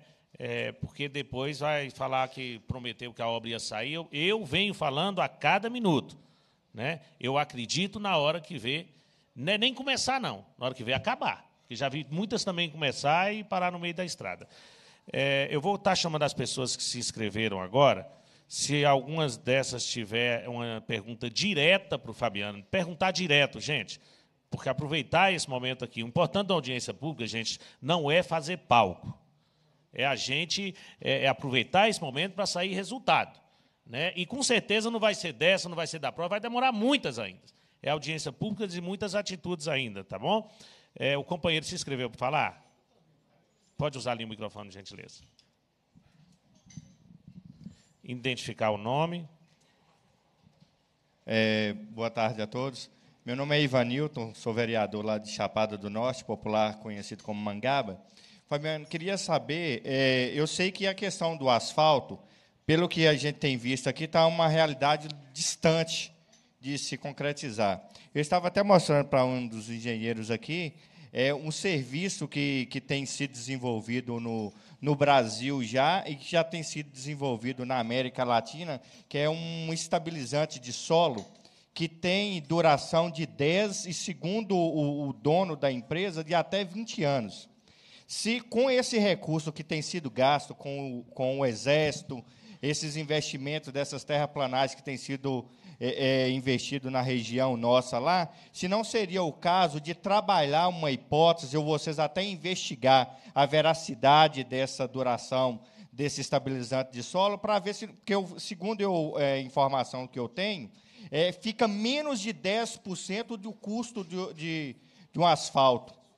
Do, do, e esse serviço seria bastante viável lá para a nossa região, se porventura for concretizado, estiver possibilidade de uma licitação para comprar esse produto, até que se tenha uma probabilidade do asfalto, que já, já ajudaria bastante a região nesse período enquanto não chega o asfalto. Você tem conhecimento desse estabilizante de solo? O que, que você pode nos dizer a respeito disso? Vereador, é o seguinte, é, estabilizante já é objeto de pesquisa lá no DENIT, no Instituto de Pesquisa Rodoviária, lá no Rio de Janeiro. Eu tenho conhecimento de alguns testes que vêm sendo feitos na região norte do país, que é uma região que, ao contrário da região do Vale do Jequitinhonha, ela tem uma janela hídrica de quatro meses, cinco meses, mais, quer dizer, passa quatro meses do ano sem chuva, essa é chuva. Então, a situação lá é muito mais crítica. E o volume de tráfego muito maior, que é de lá que saem as grandes carretas aí com sólidos, a história toda. Agora, sim, é um produto que, teoricamente, é tem um custo barato lá fora do país, certo? É, ainda está sendo avaliado sobre o aspecto econômico, a viabilidade de aplicação aqui, e sobre o aspecto climatológico também, porque o local onde é aplicado lá é totalmente diferente da situação de clima que nós temos no Brasil. Então, tenho conhecimento que está sendo estudado, vou até procurar me atualizar da informação,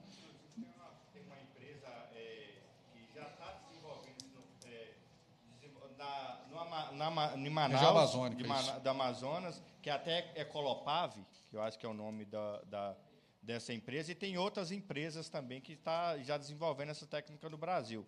Me parece que são os barris de, de 20 litros que eles vendem desse produto, e pode ser trabalhado, inclusive, eu tinha até levado a proposta para o prefeito Diego, lá em Chapada, da gente tentar fazer nas estradas de Chapada, só que o custo para o município, no momento, a gente não tinha condições, a gente dependia de emendas para fazer isso e a gente não conseguiu. Mas é um trabalho que eu acho que pode ser avalizado. Está sendo Obrigado. pesquisado, mas por enquanto ainda não está liberado para nós. Obrigado. Passo a fala agora a Igor Timo.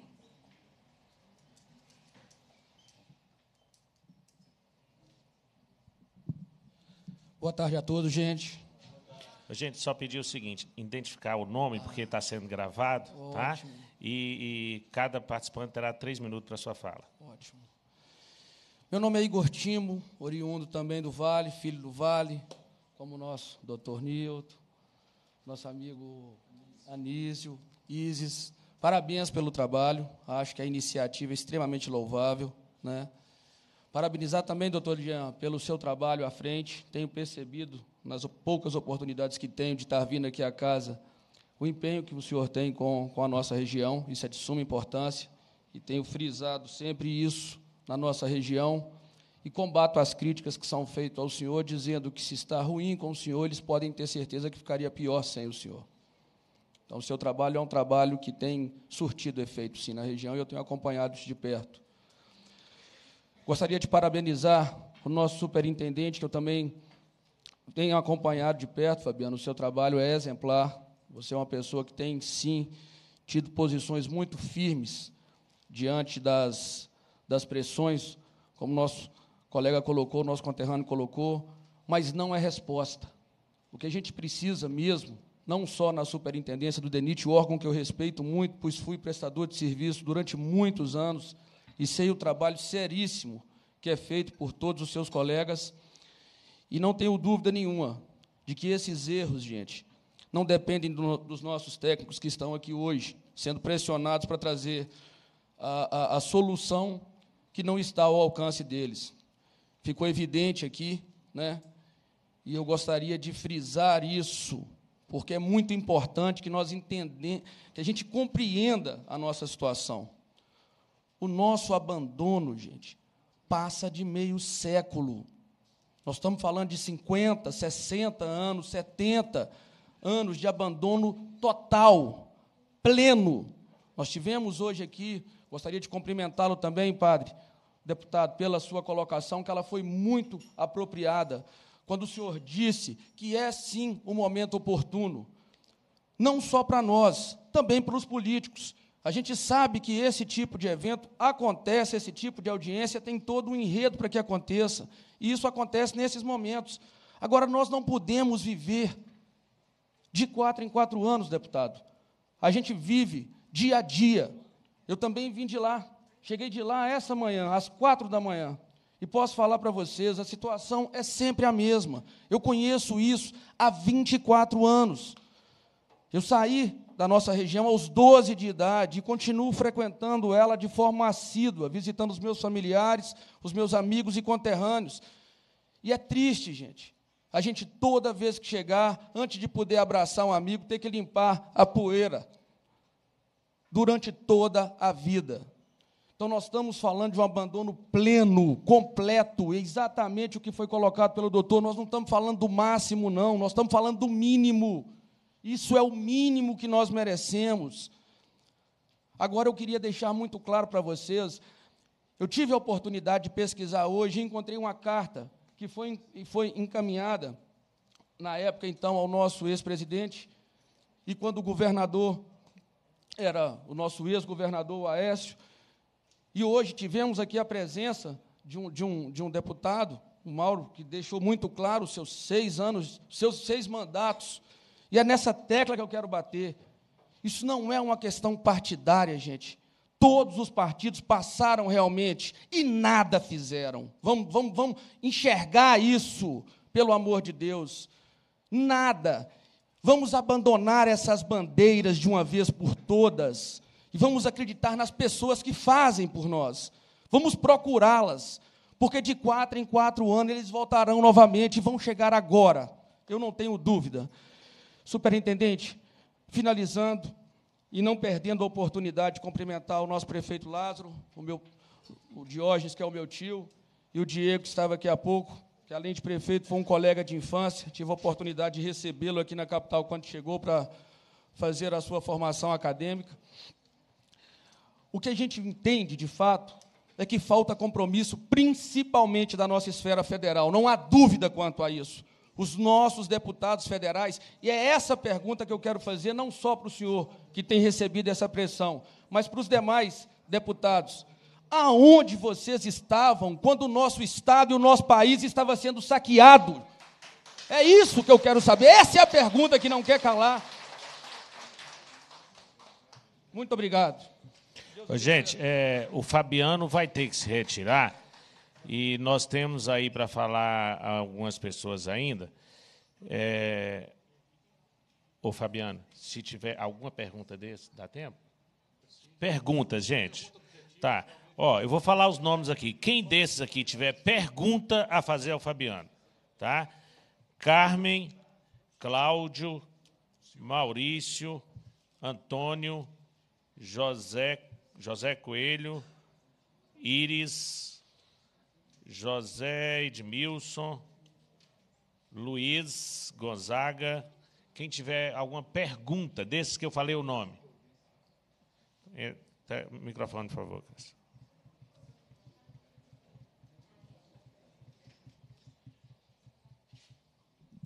Boa tarde a todos. O, o companheiro que me antecedeu, acho que ele tocou numa ferida que é muito importante e pertinente no momento. É, meu nome é Antônio Cássio, milito no Movimento de Cultura Popular do Vale de Jequitinhonha, Mucuri. Sou de Catugi, que é a divisa entre os dois vales, Jequitinhonha e Mucuri. E uh, milito também, sou da Irmandade Rosário Chapada do Norte, né, doutor Nildo, nós estamos na luta. A minha pergunta para o representante aqui do DENIT é o seguinte: é, eu, além disso, sou representante comercial na área de cosméticos. Eu lembro que eu estava em Minas Novas na época, daquela construção daquela ponte que liga nada ao nada de Minas Novas. Aí eu perguntei para o engenheiro. Ele falou assim: não, agora vai sair, porque essa ponte que vai ligar faz parte do projeto de Irapé. O projeto de Irapé, meus senhores, eu lembro que o festival lá em Gromogol, nós passamos por dentro daquele dos que eles só fizeram isso. Fizeram a represa. O que, que é Irapé hoje? É gastaram milhões e bilhões de reais naquela, naquela represa. O companheiro aqui citou uma coisa, é o seguinte: os nossos governantes que nos antecederam, que antecederam o atual governo, têm culpa sim no cartório. Eu acho que tem que fazer uma CPI para falar onde foi esse dinheiro de Irapé, que é uma vergonha. Gastaram 5 milhões. Eu lembro que o engenheiro falou para mim o seguinte: que era para fazer toda a malha viária do Vale Jequitinhonha O Cássio, está lá o exemplo. Então, essa é a minha pergunta. Se ele está a par de quanto foi gasto e realmente esse projeto era mesmo para beneficiar toda a malha viária do Vale de Jequitinhonha ou não? É isso que eu quero perguntar. Meu amigo, é o seguinte, a obra lá da ponte em Minas Novas, ela foi construída pelo governo do estado, não foi pela União. Eu conheço bem o trecho. Se é uma coisa que eu fiz quando cheguei aqui para trabalhar como superintendente, foi conhecer a malha ponto a ponto. Então, para poder atender melhor os senhores, para atender os parlamentares, os vereadores que vão lá, eu preciso discutir com, com consciência, conhecendo a fundo o problema. Então, o projeto nosso, para se ter noção, a rodovia federal lá em Minas Novas, ela não passa naquele traçado da ponte. Absurda a situação? É. O traçado da rodovia federal passa por dentro de Minas Novas. Mas consciente da situação e ainda não tendo licitado a obra, o Weiner, que é o engenheiro lá de Montes Claros, que cuida da, da região, a pedido nosso da superintendência, desenvolveu uma nota técnica, nós estamos solicitando a mudança do traçado para aproveitar uma ponte que foi construída pelo Estado há décadas atrás. Quando assumimos aqui há dois anos atrás, existiam cinco pontes prontas, sem o devido encabeçamento. Aquela é a última. E que, diga-se passagem, não era e ainda não é competência do órgão federal, porque não foi quem a construiu. Saber quanto custou? Não sei. Esse direcionamento tem que ser feito lá para o governo do Estado. Se faz parte ou não do projeto de Igarapé, também não sei. Desconheço o projeto, tá certo? Então, qualquer coisa que eu for falar vai ser, vai ser chute, vai ser adivinhação, tá essa, certo? Essa Mas o deputado, com certeza, tem condições e instrumentos para solicitar essa informação para o Estado e fornecer informação. Essa pergunta foi que eu fiz na época com o engenheiro que estava na mesma pousada. Carmen, Obrigado. Carmen do Amaral, Cláudio Geraldo.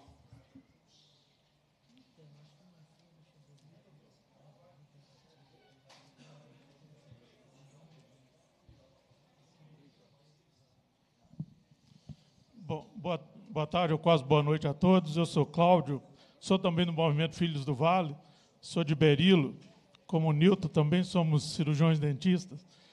Vim para Belo Horizonte, estudei aqui de 85, 82 a 88. Estou fazendo 30 anos de formado. Naquele ano que eu formei, houve um governador que tinha vontade política e asfaltou Diamantina para lá. Quase chegou em Berilo. No ano de 88, né, ele saiu e não foi feito. Então eu vejo que faltou dos outros depois dele vontade política. Agora o que eu queria trazer aqui é um dado que hoje o país está faltando dinheiro, não é isso? Não é isso, não do Denir?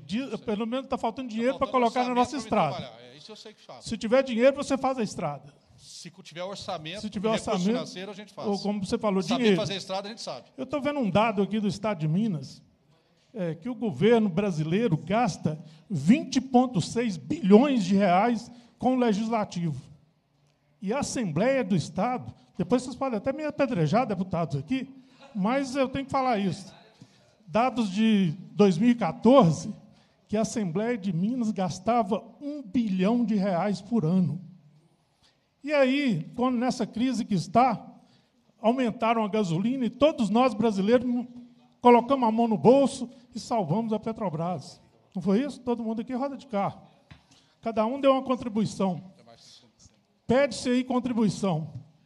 Eu vou fazer uma proposta para vocês do Legislativo.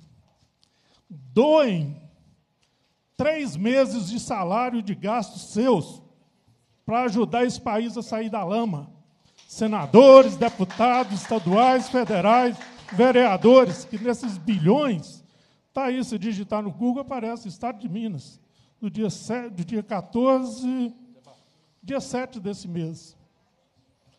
Está aí falando, 20,6 bilhões de reais o governo brasileiro gasta com o legislativo, que, como disse o Igor Timo, legislaram contra o quê quando roubaram o erário brasileiro? Para concluir, Cláudio. Deputados do Estado de Minas, eu vi uma notícia que vocês reuniram várias vezes aqui e não concluíram, não votaram projetos. Então, uma proposta que eu faço para vocês, no apagar das luzes do ano legislativo, se querem reeleição, se querem continuar, doem, doem uma parte façam um sacrifício em nome do Brasil, que nós já fizemos o nosso. Eu estou fazendo o meu todo dia. Todo dia eu meto mão no bolso, todo dia eu atendo pessoas de graça para salvar esse Brasil. Então, o legislativo brasileiro deu uma contribuição ao Brasil. Deixem de gastar 20 bilhões de reais no ano e ajudem a salvar. E vocês aqui de Minas, doem um pouco. Um milhão de reais que cair por mês nós vamos concluir a BR-367. Isso, olha, se não fizerem isso, nós vamos meter a mão no bolso, cada um vai dar uma contribuição, e nós vamos fazer e falar assim: o Estado brasileiro, mineiro, foi incompetente e nós fizemos. Obrigado. Maurício Santana. Maurício Santana. Antônio Cássio já falou. José Coelho. Três minutos já. Então vamos lá, Zé.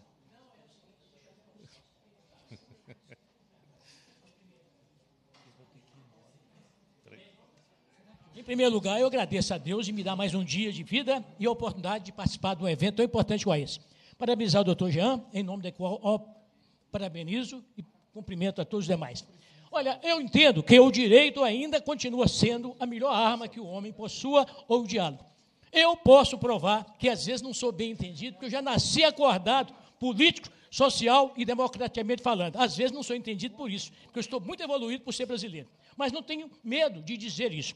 Em 2014, este modesto advogado, que já é formado há 46 anos, requereu uma ação, uma notificação judicial contra o governo federal e o DENIT, Eis que as respostas foram dadas, até falando em dinheiro. Só que eu estou observando, embora saber esperar é ser feliz, vou ingressar agora em juízo com a ação apropriada que é obrigação de fazer, porque a comunicação é um direito de todos e a dignidade. Comunicação, muita gente pensa que só rádio e televisão, estrada é comunicação.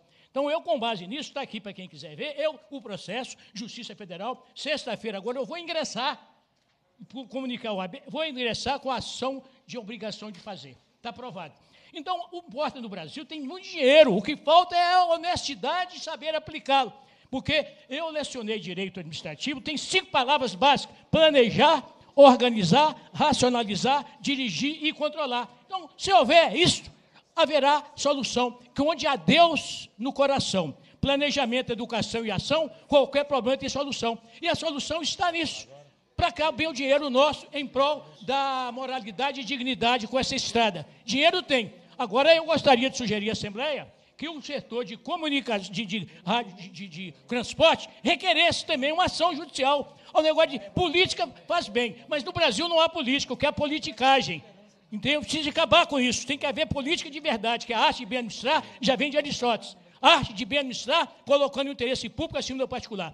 Minas Novas, eu me sinto orgulhoso de ser um Minas Novense e orgulho-me de ser evoluído e ter condições de criticar. Porque a gente, para criticar alguém ou um órgão, tem que ter moral competência e independência moral, que é o esteio da dignidade, razão pela qual muitas vezes eu não sou entendido. Mas eu perdoo a esse povo que ainda continua deitado eternamente em berço esplêndido, para que realmente possam acordar. Ainda há tempo de saber votar, principalmente esse ano. É, eu entendo que o importante é isso. Eu fico muito feliz e parabenizo mais uma vez a doutor Jean, que é natural do Vale de Jiquitinhonha, onde se muito promete e nada se faz. É a época que o pobre mais adoece, porque vem os candidatos e bate nas costas, e você sabe que isso faz mal, né? Mas o doutor Jean, pelo menos, não, não tem prometido nada e tem realmente provado que é realmente um político natural do Vale de Jiquitinhonha. Aqui eu parabenizo mais uma vez e me sinto muito feliz porque felicidade existe, e vocês vão ter a oportunidade de levemente ler um livro que eu escrevi, que se chama A Arte, a Coragem e a Alegria de Ser Feliz. Porque ser feliz é causar felicidade aos outros, procurando ser, ao invés de apenas ter, e não procurar só ter para querer ser. Meu nome é José Coelho. Meu nome é José Coelho Júnior, advogado, sociólogo e professor universitário. Embora eu sendo professor, eu lendo, que a cada dia eu aprendo muito mais, e isso é bonito. Felicidades a todos vocês, e muito obrigado, mas muito obrigado mesmo por essa oportunidade. Minas Novas está presente nesse movimento. Muito obrigado. É, eu vou passar a fala agora ao nosso companheiro, deputado federal, Padre João, e eu sou prova, Padre João, da sua luta, sou prova de dizer onde você esteve, onde você está, em todo momento, desde que assumiu aqui como deputado estadual e agora como deputado federal. Obrigado, deputado doutor Jean. Também parabéns pela iniciativa, pela luta, por ser coerente. Vossa Excelência poderia, enquanto deputado, e seria bancado pela casa, de ir de avião, de estar viajando de avião, todo final de semana, vai de carro. Eu também sou testemunha é, da sua luta, da sua coerência, Gente, é, do seu. Só um momento, Padre João. Gente, por gentileza, por gentileza, nós já estamos terminando a nossa audiência, por gentileza. Testemunha do seu compromisso com a região, mas também aqui com o Estado de Minas Gerais, porque cada projeto que Vossa Excelência vota, ele repercute no Estado inteiro, mas o seu carinho e atenção especial com o, o Vale do Jequitinhonha. Pessoal, sejamos sinceros e honestos. Dizer que o Brasil foi saqueado, eu sei que o foco da audiência é BR, mas dizer que o Brasil foi saqueado e quebrado e por isso não tem dinheiro, não é verdade. Não é verdade, e além de não ser verdade, é injustiça com alguns governantes que enxergaram as regiões mais pobres do nosso país e foram prioridades. Entendemos que uma rodovia ela é fundamental para o desenvolvimento local e regional, mas não há desenvolvimento local e regional com fome, com miséria, sem educação. Não há. E no governo Lula e Dilma, conseguiu enxergar, sobretudo no governo Lula, enxergar os pobres, quilombolas, indígenas, as comunidades tradicionais. No governo Dilma conseguiu enxergar a realidade do município e dos prefeitos. Dos prefeitos. Qual prefeitura que teria condição de comprar uma patrol retroescavadeira, pá carregadeira, caminhão caçamba? A maioria das prefeituras não tinha condição. E foi dada condições de poder servir também para cuidar das estradas vicinais. Então, houve investimentos. Doutor Jean, Vossa Excelência, que é médico, sabe qual é a consequência, o resultado do Bolsa Família para milhões e milhões de famílias que infelizmente também já foram cortadas. Alguns milhões de famílias foram cortadas. Quantas crianças que, tristes, no Jequitinhonha, mas em outras regiões. A mortalidade infantil era assustadora. E conseguiu reverter nesses últimos anos, no governo Lula e Dilma, que conseguiu reverter a mortalidade infantil inclusive nas comunidades quilombolas, mas então houve investimento. Agora, como um pai e a mãe é obrigado a priorizar, houve uma, uma, uma escala de prioridades e de enxergar o município, porque o Bolsa Família ajudava muitos prefeitos que tinha que fazer, às vezes, cesta básica, que tinha que atender com filas e tudo, a pessoa recebia recurso direto, inclusive é fortalecendo o comércio local, como material de construção, supermercados, valorizando muito a economia local do município. Acho que tem gargalos, tem nessa parte de infraestrutura. Porque numa outra questão, o governo militar. O governo militar foi um atraso para a região, porque as terras devolutas foram é, é, destinadas em algumas áreas para empresas, contratos vencidos e não conseguiram reverter. Empresas para uma monocultura que num diálogo e num debate falso, hipócrita, que ia garantir desenvolvimento e não gerou emprego. Pelo contrário, foi a monocultura do eucalipto que expulsou trabalhadores e trabalhadoras e ir para o sul de Minas, na colheita do café, ou ir para São Paulo, com trabalho análogo escravo. Enquanto deputado federal, só no ano passado nós conseguimos resgatar em duas fazendas no sul de Minas trabalho análogo escravo, uma boa parte do Jequitinhonha do norte e outros da Bahia, trabalhadores explorados na colheita do café, no meio do veneno, sendo contaminado, além da desestruturação da própria família. Então, é uma consequência do governo militar que os governos Aécio, Anastasia, não conseguiu reverter essa questão da monocultura do eucalipto, que está avançando com a crise hídrica, sim. A monocultura do eucalipto aprofunda e expulsa as comunidades tradicionais, porque sem água, que modelo de desenvolvimento que vai ter? Né? e que infelizmente nós não avançamos, como a Constituição do Estado garante que essas terras devem ser destinadas para as trabalhadoras e os trabalhadores que foram expulsos das chapadas, foram expulsos e quase como que encurralados lá embaixo, e até, agora, até isso agora está sendo retirado deles, pessoal. Então, e aí alguns vêm dizer, ah, vou resolver. Pessoal, o PPA, ele é o ponto de partida, como algum deputado disse. Mas aí vem também a LDO e a LIO. Então é chave a LIO, a lei orçamentária. Então o que tem que estar debatendo agora, e a ação dos vereadores, dos prefeitos todos, é garantir os deputados votados no município. Não só porque mandou emenda fruto do golpe, fruto do que impediu de investigar um presidente, ali não estava derrubando o presidente, era investigar e hoje nós temos uma situação de que um parlamentar, só porque não fez parte do golpe e não fez parte do conchavo de impedir um presidente, recebe de emenda parlamentar ou de, da, da, dos cadastros, é, das propostas voluntárias orientadas, propostas voluntárias guiadas, vão ter para destinar mais de 40 milhões.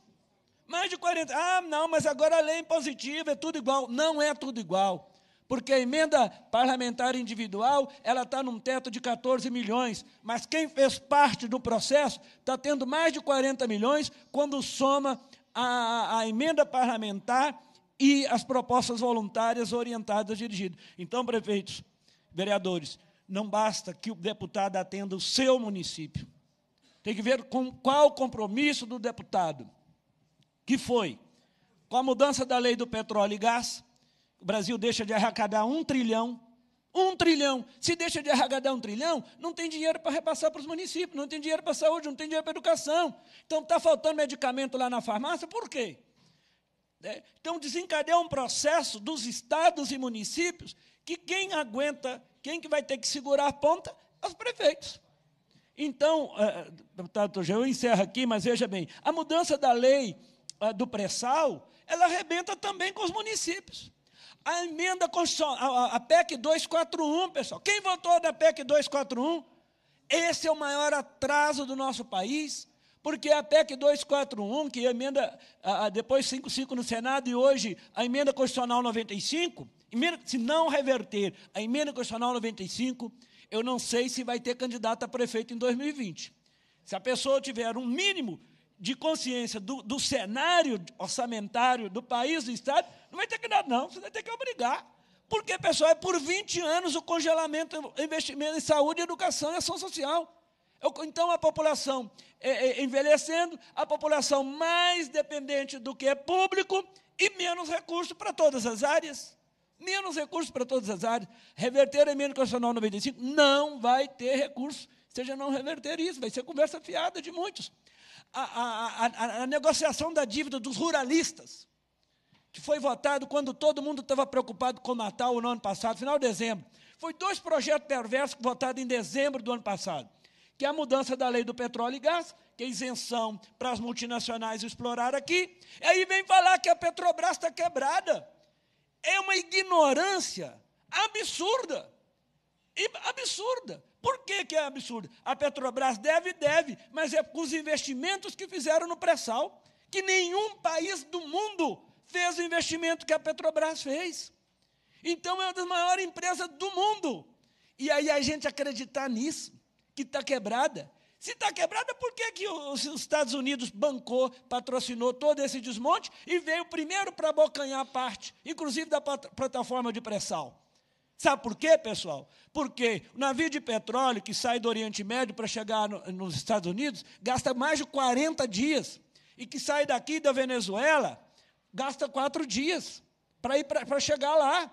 Por que, que esse governo que está lá, ele esvaziou as refinarias? Refinarias que poderiam ter uma otimização de 80% a 100%, está trabalhando com 50%. E o petróleo cru vai para os Estados Unidos e volta para cá. Então, daí vê o porquê esse salto do petróleo nesses últimos anos. Então, acho que a gente tem que aprofundar mais, não ler só textinho de zap ou fake news aí, e a gente aprofundar na realidade que está acontecendo no nosso país. A dívida dos ruralistas, o perdão da dívida dos ruralistas, foi de 17 bilhões. Para socorrer os prefeitos agora, foi retirando recursos de um lugar e do outro, chegou para chegar um montante de 2 bilhões retirou inclusive do PA, retirou da educação do campo, do Pronera, retirou, da, viu, prefeito, aqui a nossa professora também, cadê a, a, a, a Bolsa Permanência dos indígenas e quilombolas? Que acabou, com Pronera, que era para educação e reforma agrária, acabou. Então, é nesse sentido, é, é, é eu, eu vejo que se não tiver uma unidade e os prefeitos enxergar é verdade que tem uma movimentação, mas às vezes na hora H, porque o deputado me mandou emenda aqui para a saúde, eu tenho que votar nele. E não consigo ver esse, essa ação, como é que ele está atuando lá para garantir mais recursos para os municípios, para melhorar o, o, repasse, né, o fundo de participação. Então, isso é estruturante e vai dar autonomia, não tem que ficar com pires na mão e nem refém de deputado. Porque aí nós vamos ter políticas públicas, nós vamos ter programas que garantem vocês trabalhar com a plena liberdade. E, então, parabéns, doutor Jean, pela iniciativa, e eu sou testemunha do seu trabalho, e, e eu, eu falo com muita tranquilidade, pessoal, porque onde eu fui votado mais foi no Alto Jequitinhonha. E hoje a gente tem trabalho prestado no médio e baixo Jequitinhonha. E às vezes não na sede do município exigindo foguete e tal mais, mas é lá na comunidade quilombola, lá no, no, com os pescadores, que estão refém com um problema sério de Irapé. Se a gente for discutir Irapé, é um desdobramento aqui perverso em todos os outros. Então, é mais nessa linha de empoderar o nosso povo, dar condições dignas para que eles não fiquem reféns é, de, de, políticos que querem mantê-los numa condição sempre inferior. Né? Então, é, é, é com esse propósito. Agora, me disponho então eu saio e coloco isso que provoca. Não vão ter como reverter, se não for uma força-tarefa de todos vocês, com 53 deputados, para enfrentar esse governo e exigir recompor o orçamento dos 40 milhões, pelo menos de, de, ampliar, e não retirar o restinho, porque de 40 não tem 5 e não vai ter, já tem 5 e não vai ter nem 5. Então, se não tiver essa força. E a bancada mineira, pessoal, nós somos 53 deputados. É a segunda maior bancada. É a primeira é São Paulo e depois é Minas Gerais. Então, nós temos uma força política. Nós temos condições de travar a matéria no plenário. Sabe por que tem condições? Porque se somar a bancada mineira, o, o, o PT como um todo está obstruindo. O, o, o PC do B, o PDT. Então é possível a gente formar lá uma maioria de quase 300 deputados, mais de 300 deputados, na verdade, e, e, e, conseguir obstruir a matéria. Então, acho que basta querer ter determinação, menos hipocrisia e ir direto, de fato, a, a, ao recurso. E é lei orçamentária. O que nós estamos em jogo até outubro, nós temos que compor a lei orçamentária. porque tem abertura tanto no, no, no, no plano plurianual, porque é emenda de texto, de metas. Quando a gente fala do PPA e LDO, é texto. Mas lá precisa é de dinheiro. E dinheiro é agora a lei orçamentária que nós temos que definir até outubro. Obrigado, parabéns, doutor Gil. Obrigado, Padre João. O Padre João, eu quero inclusive deixar como proposta aqui, depois seria interessante os filhos do Vale entrar em contato com o seu gabinete, com os outros deputados que aqui tiveram, é, que o senhor nos passasse as datas, até quando, quando vai ser votado, porque aí eu proponho, inclusive, Padre João, que o senhor fizesse essa fala, é, porque aí nós vamos ver a cara de quem é quem. Né? Propor à bancada mineira que obstrua a votação se não colocar a BR-367 no contexto. Né? Então, eu, eu, eu, solicito isso aqui do senhor, né? que se possa formular um, documento e, e, colocar lá a assessoria à disposição de deputado e deputado e propor isso no plenário na, da Câmara dos Deputados, propor essa obstrução no plenário se não discutir a BR-367. Porque eu não concordo eu não concordo que nós podemos falar que é, o dinheiro está sendo dividido de maneira igual. Não tem que ser dividido de maneira igual, não. Tem que dar mais a quem tem menos. É isso que tem que fazer. Então, não, se, se ele está sendo dividido de maneira igual, está errado. Está errado. Não tem que ser dividido de maneira igual. E aí, companheiro, com muita tranquilidade, com muita tranquilidade, companheiro que falou ali da questão do salário, eu falo com muita tranquilidade. Porque se olhar a minha história, vai ver minha votação no auxílio moradia, que eu fui contra, vai ver um monte de coisa minha aí. Né, tá, o senhor é de Berilo? É, vai saber da no, do nosso projeto Casa do Estudante e tantos outros. Mas, não, mas só, só dizer o seguinte, com muita tranquilidade. Não, é só com muita tranquilidade para dizer o seguinte: Não, sim, mas só para dizer, gente, que isso não vai fazer um, um, um, quilômetro. Isso não vai fazer um quilômetro da BR-367. É, o impacto é muito maior do que isso. Nós temos é que exigir, e como o companheiro falou aqui, como o companheiro Nilton falou aqui, não sei se foi o Nilton Anísio, nós não temos que, não é, não é história de pires, não, é direito. É direito. E direito tem que ser cumprido. É direito. Né? Porque hoje em dia virou essa história, e aí é, nós temos que tomar cuidado com as falas, porque senão a gente coloca todos os políticos na mesma vala comum. E não é assim. O Nilton deixou muito correto aqui, falou, Nilton, eu quero te agradecer por isso. Essa audiência só está ocorrendo hoje porque vocês pediram para ocorrer hoje. Senão ela teria sido uma semana atrás, a outra semana atrás. Então não admito também vir falar porque é momento eleitoral. Não dá para admitir. Talvez outros que usaram o microfone por momento eleitoral fazem isso. Agora, por isso que a gente faz questão, e vocês sabem, a retrospectiva, e eu faço questão. O companheiro falou aqui, o Joviliano também falou, e os companheiros vereadores aqui sabem disso e estiveram presentes. Vocês podem olhar nas fotos que passou aí, tem um monte de vocês presentes lá. Por quê? Porque sempre estiveram. E não é audiência pública que vai resolver mesmo, não. Mas não voltem para casa com desesperança. Não voltem porque é aí que não vai resolver mais. Existe um ditado que quem planta tâmaras não chupa tâmaras, porque demora 70 anos para dar. Agora, se a gente desesperançar, entendeu? Não adianta. Se a gente esperançar aí, que não vai mesmo.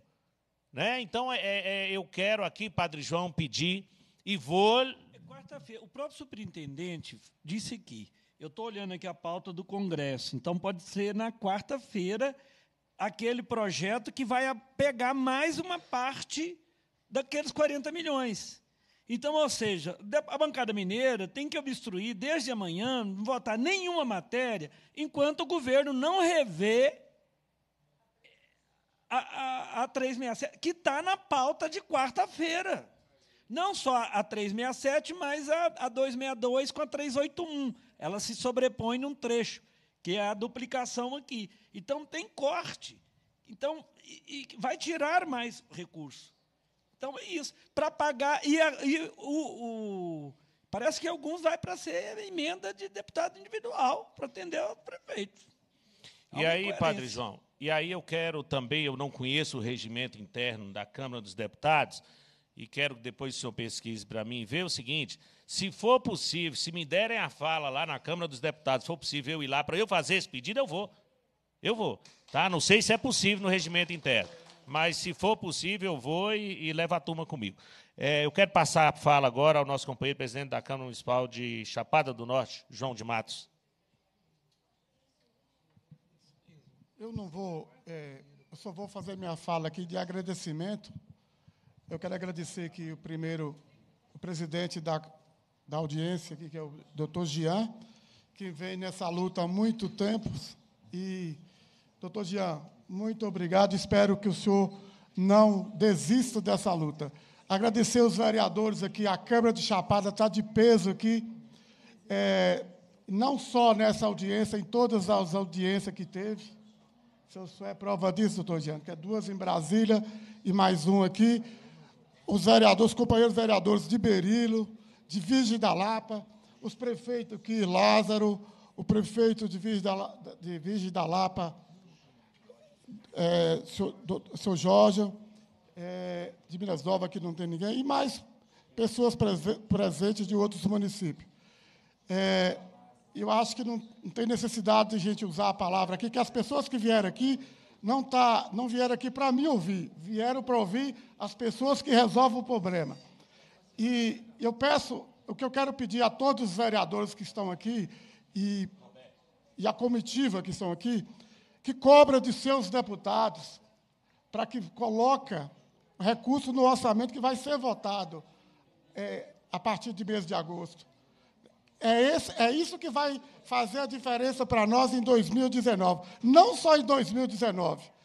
Que, e, consequentemente, colocar recursos, é, todas, todas, toda votação da, da, do orçamento de cada ano. É só isso. Muito obrigado a todos e que todos voltem volta em paz. Doutor Nildo, gentileza. É, eu gostaria aqui, em nome do movimento Filhos do Vale, doutor Jean, de agradecer, João, presidente da Câmara lá de Chapada do Norte, todos os vereadores de Chapada que estão aqui, vocês também estiveram lá em Brasília com a gente. Né? Então, é uma satisfação muito grande, porque o movimento ele foi, ele é um, um movimento que surgiu, né, Iris?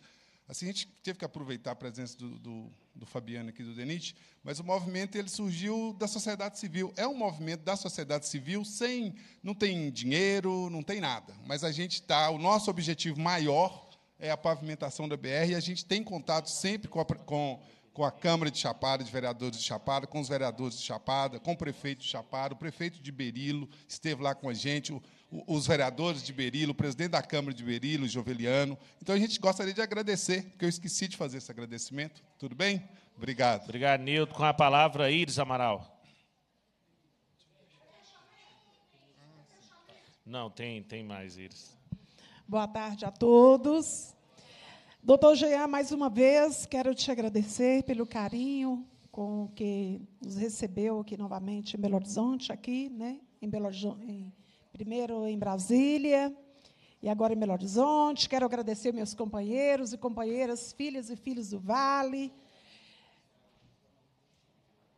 Gente, eu acho que agora, já que nós já sabemos que o asfalto ele não é amanhã nem depois, vai demorar um pouquinho. Eu gostaria de perguntar, ser bem pragmático e perguntar uma coisa. Todo país ele precisa, ele, ele tem o dever de ter, de ter verbas extras reservadas para alguma calamidade, alguma coisa assim. Certamente o Brasil tem. E a nossa ponte, a ponte do rio Araçuaí, está dependendo de levantar essa questão de calamidade pública. Ou vamos esperar sair o asfalto em 2020? Deixar cair um monte de gente lá dentro? Deixar cair crianças, ônibus lotados de crianças para estudar? Nós vamos esperar isso? Não tem verba, não, mas certamente tem uma verba extra para isso. E os filhos do vale, ele não existe apenas para a questão do, da, da BR-367, o asfaltamento não. Nós somos cobrados dia e noite sobre essa questão desse movimento, dessa alegria que a gente leva, da questão da esperança. E eles falam para a gente, ué, começou, não vai ter, e nem conserta, agora piorou. Até, o, até a, a, a, o exército saiu, nós estamos até mais sem nada lá. O que nos ajudar? O doutor Jean, o senhor aí na, na questão, no, no legislativo, levanta isso para nós, essa questão dessa calamidade, viu? Da questão da ponte lá. E a, a, a linha de ônibus que o pessoal está cobrando da gente, se, se a Rio Doce não quer voltar, põe qualquer outra. Mas nós, nós precisamos andar. É revoltante. Com certeza. Tá? E a ponte do Barbosa. Daqui a pouco vem a chuva, gente. Não tem como passar, não. Tá bom, doutor Jean? Só isso. E hoje eu não chorei e não vou chorar. Porque eu acredito em você. E acredito nos companheiros, acredito nos deputados federais que aqui estiveram. Foram convidados cinquenta e tantos. Hoje vieram seis. Já está bom. Né? Vamos chamar os outros com a nossa perseverança, com, com, com a nossa união, tá? Com a nossa união, nós vamos conseguir o que nós estamos almejando. Um abraço. Obrigado, Iris. José Edmilson, que gostaria aqui também, não estava na nossa lista aqui, o, o José Edmilson pode fazer uso da fala. É, o companheiro Van está aí presente. Um grande abraço, vereador atuante lá em Berilo.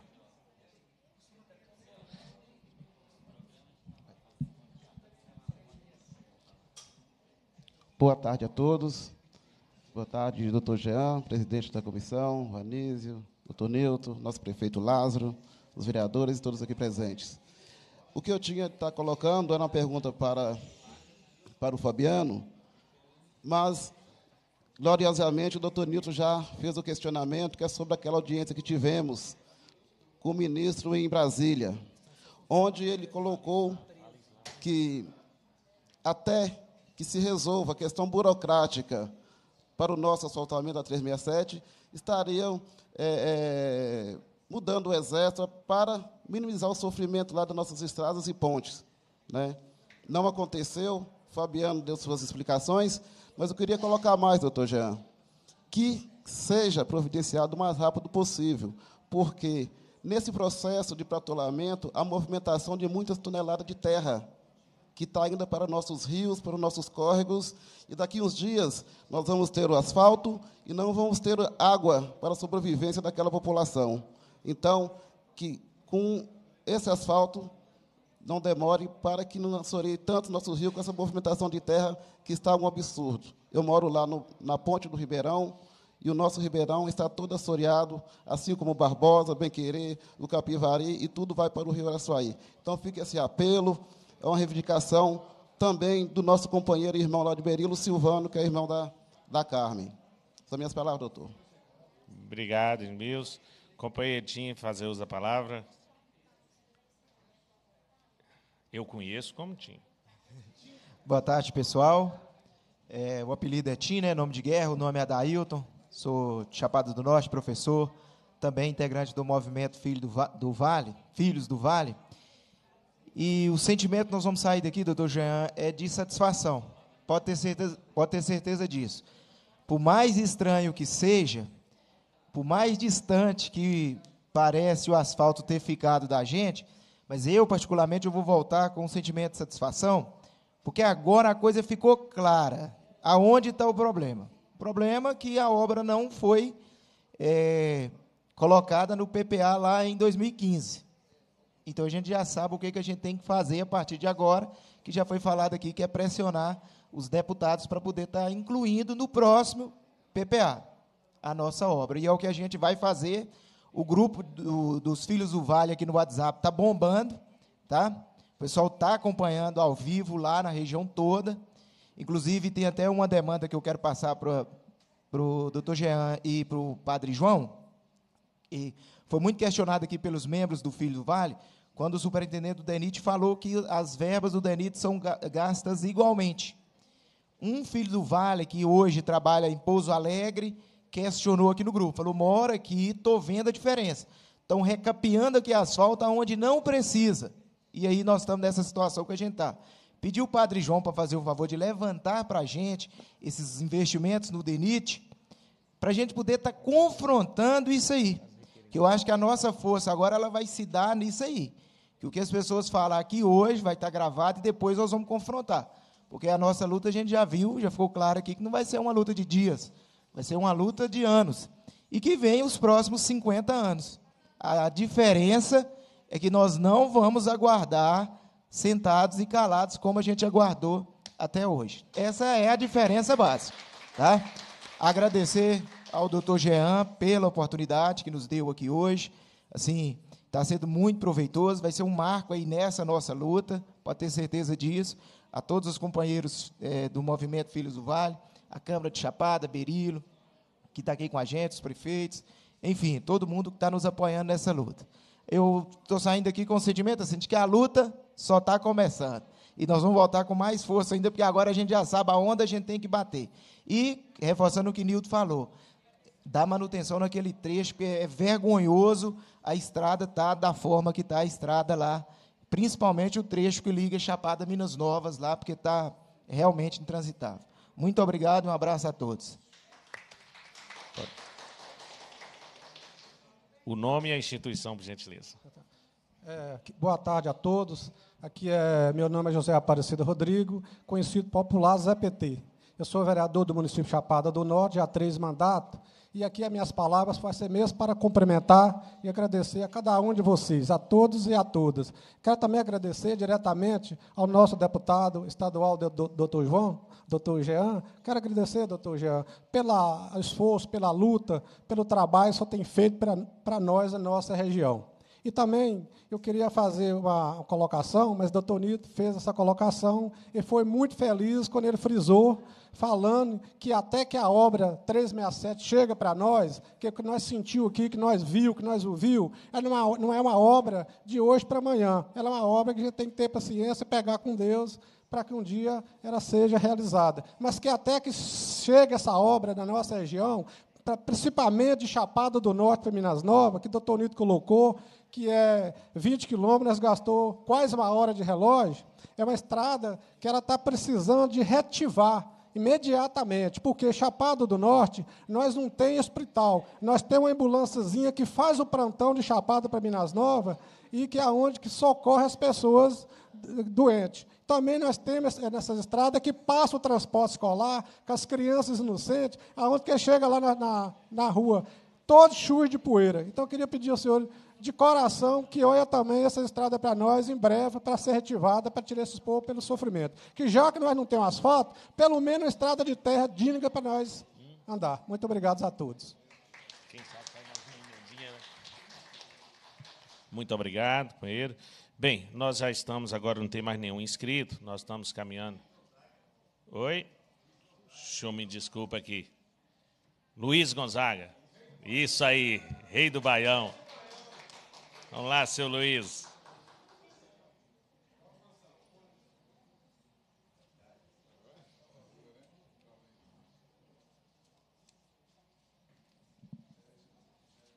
Boa tarde. Meu nome é Luiz Gonzaga. Sou mais conhecido, sou de Chapada do Norte, sou mais conhecido como fi, Luiz Filho de Estela. Tem diversos colegas, vereadores, até o prefeito que eu estou tendo o prazer de conhecer agora. Por quê? Desde cedo eu saí de Chapada, primeiro para São Paulo, para corte de cana, e depois para Belo Horizonte, onde desde 65 permaneço até hoje. Fiquei muito feliz, não poderia deixar de vir cumprimentar meus conterrâneos que saíram de madrugada e estão aqui com cara boa, isso demonstra muita garra, isso demonstra esperança que nós vamos vencer. Não tenho dúvida. Em, em, em outubro passado, eu estava enchapada na festa, por quê? Por que, que eu tenho dificuldade de conhecer as pessoas a mim também? Porque eu só vou, normalmente, época de festa e fico só nos dias de festa. Porém, no último, em outubro agora, o doutor Jean vai se lembrar, eu estava na porta da igreja Nossa Senhora do Rosário, durante a festa, vi uma senhora conversando com uma pessoa que eu achei que destoava um pouco do nosso, da, da, daqueles habituês da festa ali. Assim que terminaram de conversar, eu corri a ela e perguntei, quem é aquele? E ela falou assim: é o doutor Jean, é o deputado de lá de Araçuaí. E eu falei assim: uai, é agora. E eu corri lá, o senhor lembra, doutor? E perguntei para ele: doutor, compra a nossa briga para melhorar a nossa estrada aqui. Ele falou assim: agora tá mais, tá, é, ficou um pouco mais difícil porque a estrada foi federalizada. Aí eu disse a ele: mas todo ser humano tem sonhos. E o senhor, o senhor não vai ser diferente, o senhor deve ter uns sonhos também de se tornar um deputado federal. Deixe nós pegar uma, a gente pegar uma carona no seu sonho. E aí me deu um cartão, tudo bem, voltei para minha terra, cheguei, a secretária me ligou realmente. Mas o que eu quero dizer que em tão pouco tempo eu estou tendo a oportunidade de estar aqui oferecendo, me oferecendo, como estou mais distante, para fazer parte desse grupo Filho do Vale que só agradece. E com isso, com isso, eu pretendo somar força com, minha, com, com, com a minha prática de eh, mobilização social em Belo Horizonte, principalmente na área de saúde, para a gente fazer um acompanhamento, fazer relatórios, reunir falar o que está impedindo que a gente obtenha sucesso. Isso não pode. E, e, e, esse evento aqui mostra que sonhos só se, é, não se constrói sozinhos. E isso, meus amigos, filhos do Vale, vocês podem ter certeza que nós vamos vencer. Nós vamos tirar o Vale com muita garra desse é, subdesenvolvimento. Eu sou economista e não precisa ser economista para saber que sem estrada não vai desenvolvimento, mas como alguma prática da área de investimento capaz de, de grande empresa em Minas Gerais, é, capaz de, é, é com a, com a responsabilidade de estar analisando investimento e é, construindo projetos, empresas nenhuma vai para um lugar que não tem acesso não chega a ser nem analisado projetos para essas localidades. Portanto, eu, eu, eu, eu falo, repito, sonhos não se é, é, constrói sozinhos. E, é, dessa forma, eu estou me colocando para os filhos do Vale, que para a gente é, é, está lutando para isso. É, professora, Professora Liliane, parabéns pelo seu trabalho. Quando se fala de racismo, as pessoas, quem não vivencia isso no dia a dia, não percebe o que é o racismo. Racismo é um câncer que destrói. Quem passa por isso, nós sofremos no dia a dia o racismo.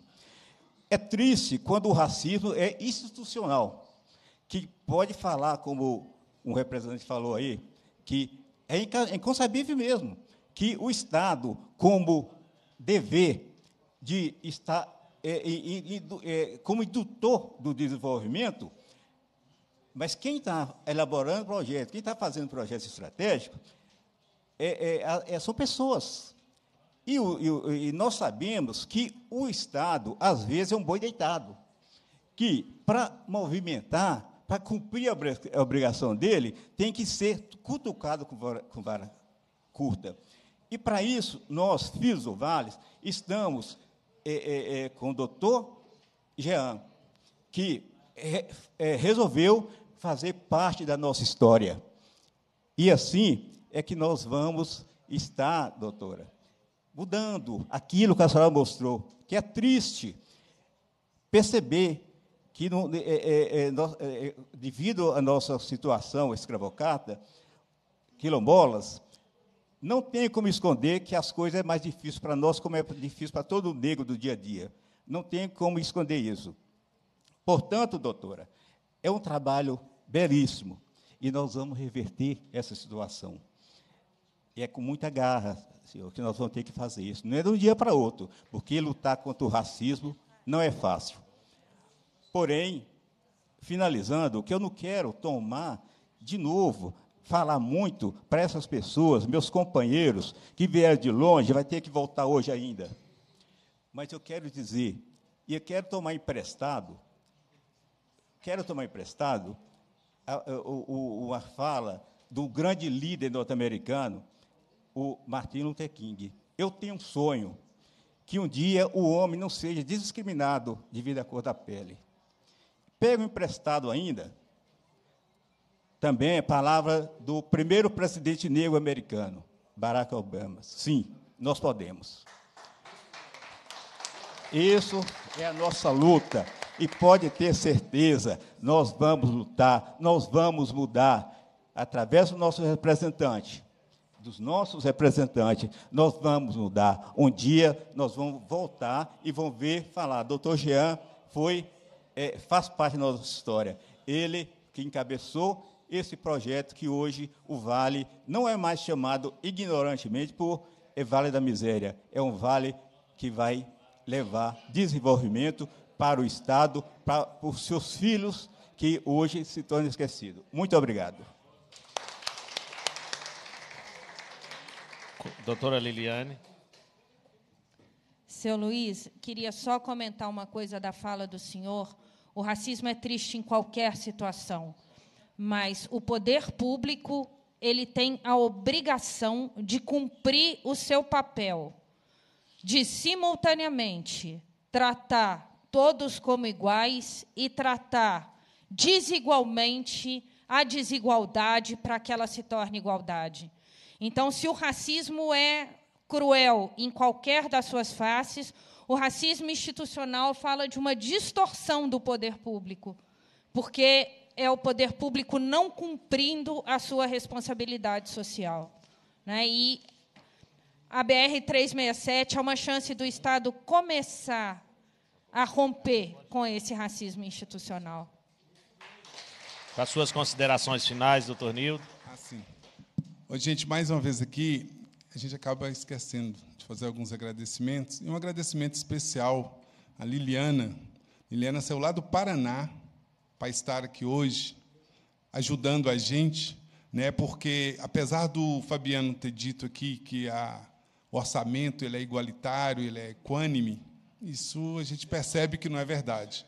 Né? E Liliana veio com essa teoria fazer essa ponderação né, da, da, do racismo institucional. E esse racismo institucional, nós iremos, né, doutor Jean? Nós vamos levar isso à frente. Iremos entrar no Ministério Público Federal, sim. Por quê? Porque, na verdade, a nossa região tem mais de 60 anos, como já foi dito aqui por várias pessoas, de esquecimento absoluto. Então, nós iremos levar isso à frente. Então, agradecer mais uma vez, Liliana, pela disponibilidade. Né? A gente fez o convite em nome dos Filhos do Vale, ela se colocou à disposição para estar nos ajudando e foi uma exposição brilhante. E essa documentação toda será entregue para, para o doutor Jean e iremos dar prosseguimento a isso, tá bom? Muito obrigado a todos pela, pela presença, né? A gente agradece em nome do Movimento Filhos do Vale. Bem, eu vou fazer a leitura de alguns requerimentos fruto dessa audiência. E fique à vontade de dar outras ideias, né? É, para a gente, amanhã nós temos outra reunião da Comissão de Participação Popular, para eu apresentar outros requerimentos. Vocês podem falar lá no próprio grupo, ligar para o meu celular, mandar no WhatsApp, tá bom?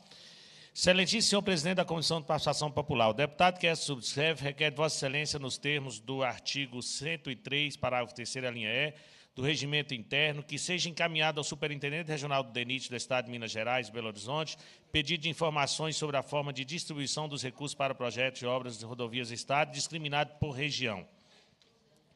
Excelentíssimo senhor presidente da Comissão de Participação Popular, o deputado que subserve a Vossa Excelência nos termos do artigo 103, parágrafo 3, alinhado, do regimento interno, que seja encaminhado à Câmara dos Deputados em Brasília, pedido de providência para não colocar em, em pauta o projeto de lei de crédito suplementar, PLN, enquanto não for solucionado o corte de recursos previsto para as obras de pavimentação da BR-367 no Estado de Minas Gerais.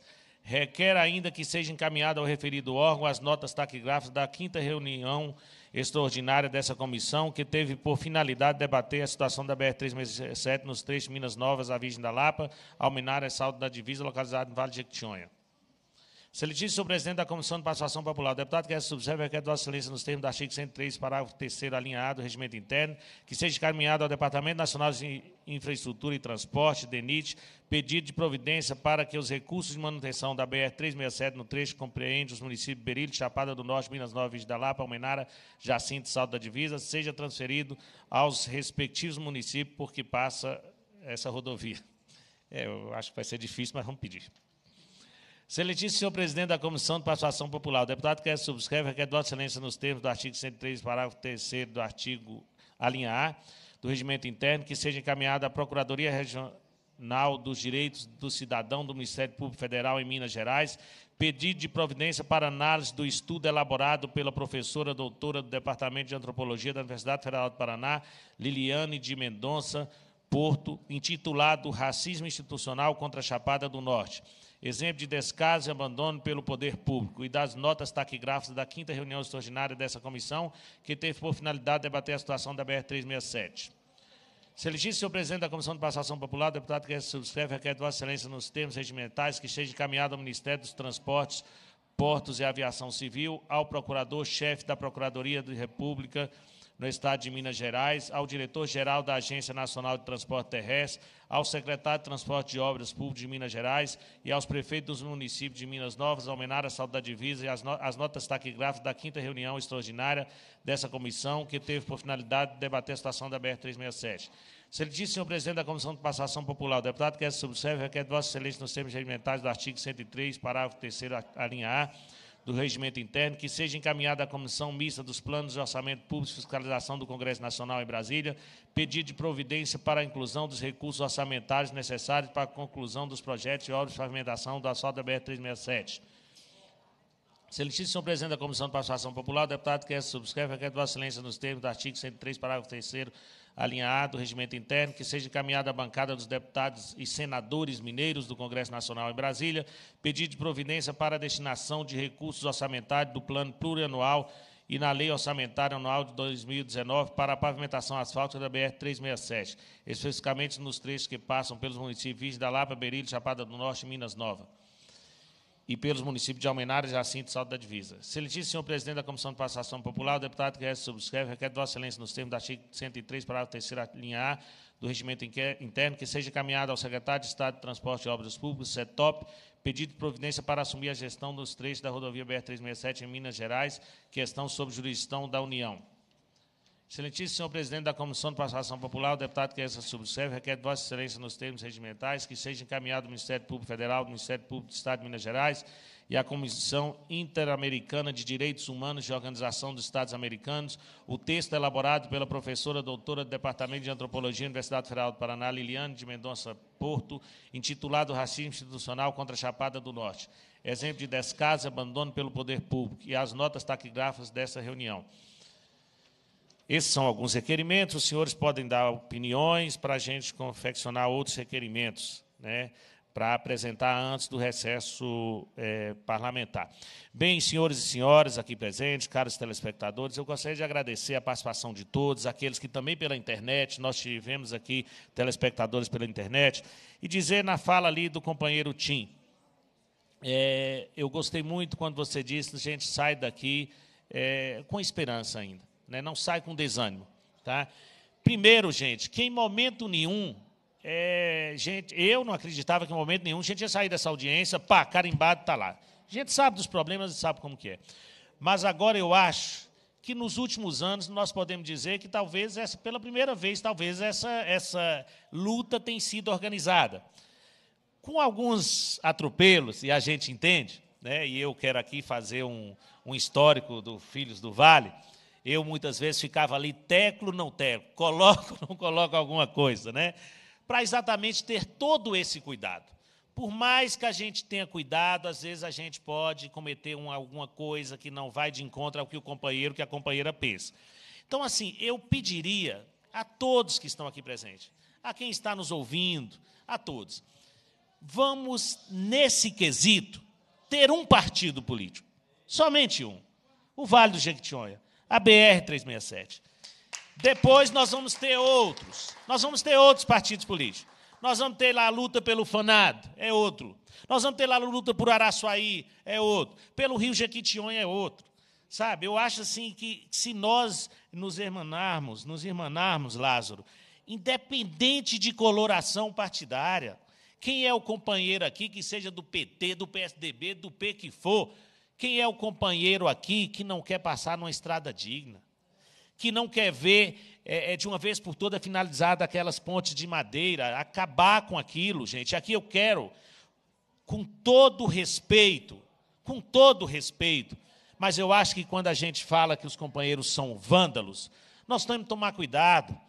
Porque, gente, eu já eu passei naquela ponte que colocaram fogo.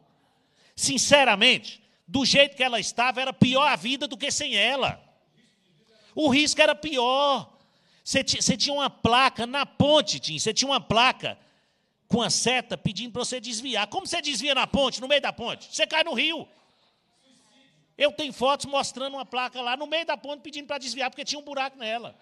Então, companheiros, só quem passa por isso, só quem passa por isso sabe a dor. Outro dia eu passando por Chapada, e os companheiros aqui, não lembro qual, foi me, me enumerando os acidentes naquela ponte chapada, sem proteção, sem nada. É, tem uma companheira lá que caiu de moto, eu acho, faleceu, um outro ficou paraplégico, com problema, problema físico. Ou seja, só ali. Nós temos o trevo de Araçuaí, você vê como é importante quando a gente sabe usar a internet, né? Nesse momento, nessa audiência, o Danilo, engenheiro, está lá em Araçuaí assistindo, manda aqui sobre uma coisa que para alguns pode parecer uma bobagem. No último mês foi dois acidentes. Foi dois acidentes. Já teve um acidente com a companheira médica lá de Berilo. Lá ali naquele trevo em Araçuaí, ela foi para o plantão, estava vindo para o plantão. Não sei se vocês se lembram desse fato, né? A doutora Mara teve um acidente ali também desse trevo, e a gente, ó, não é de hoje, pedindo, pedindo, mas nós temos é, que empoderar o serviço público, não é dizer que o público não está, tem que estar presente. Ele tem que estar é mais presente na vida das pessoas. E parabenizo a vocês, que não fica só atrás da internet. Porque é muito fácil ir para trás de um computador e escrever matéria, inclusive algumas falando mal de vocês, desqualificando o grupo Filhos do Vale. É muito, tentando, porque não consegue, né? Muito bem, é, é, Nilton. E, e isso é muito fácil. Eu quero ver quem luta mesmo. É na hora que os companheiros falam, oh, nós estamos lá no meio da estrada. Nós estamos fazendo isso. Nós, nós gente, audiência, gente, ela ajuda, sai requerimentos importantes. Porque pelo menos resposta eles vão ter que dar. Isso aqui é a Assembleia Legislativa, não é só o deputado pedindo uma resposta. Né? Oi? A do antes nós já apresentamos na outra, por isso que eu fiz sinal. Né? Porque a, a, até hoje está sem ônibus. E detalhe, a empresa detém a concessão. Ela detém a concessão até onde eu sei, não passa para outra, mas ela também não vai lá transportar os companheiros e companheiras. Então, assim, eu queria terminar essa audiência dizendo para vocês o seguinte: não desanimem, não desanimem, mas não partidarizem essa luta, politizem ela. Politizar ela é importantíssimo. Há uma diferença da politização para a partidarização. Não partidarize ela. É muito diferente. Tá? Vamos politizar ela. Vamos é, é, é, cada vez mais independente. Eu não quero saber quem é o prefeito A, B, de que lado é, de que lado é os companheiros. Eu quero saber se quem tem essa unidade. Quem quer essa estrada asfaltada. Aí nós vamos somar lutas. Sabe nisso? Aí nós vamos somar lutas. Vai chegar o momento de eleição que cada um vai para o seu lado, não tem problema não. E depois a gente vai continuar a luta. E vamos... Aliás, nós não devemos parar. E nós devemos aproveitar esse momento para chamar essa responsabilidade que o Padre João falou. Né? Eu sugiro aqui aos filhos do Vale que entrem em contato com os deputados federais, todos. O nosso gabinete vai estar fazendo isso. Se amanhã eu tiver direito ao uso de fala no, na Assembleia, na tribuna, eu vou aproveitar nesse momento e vou pedir isso.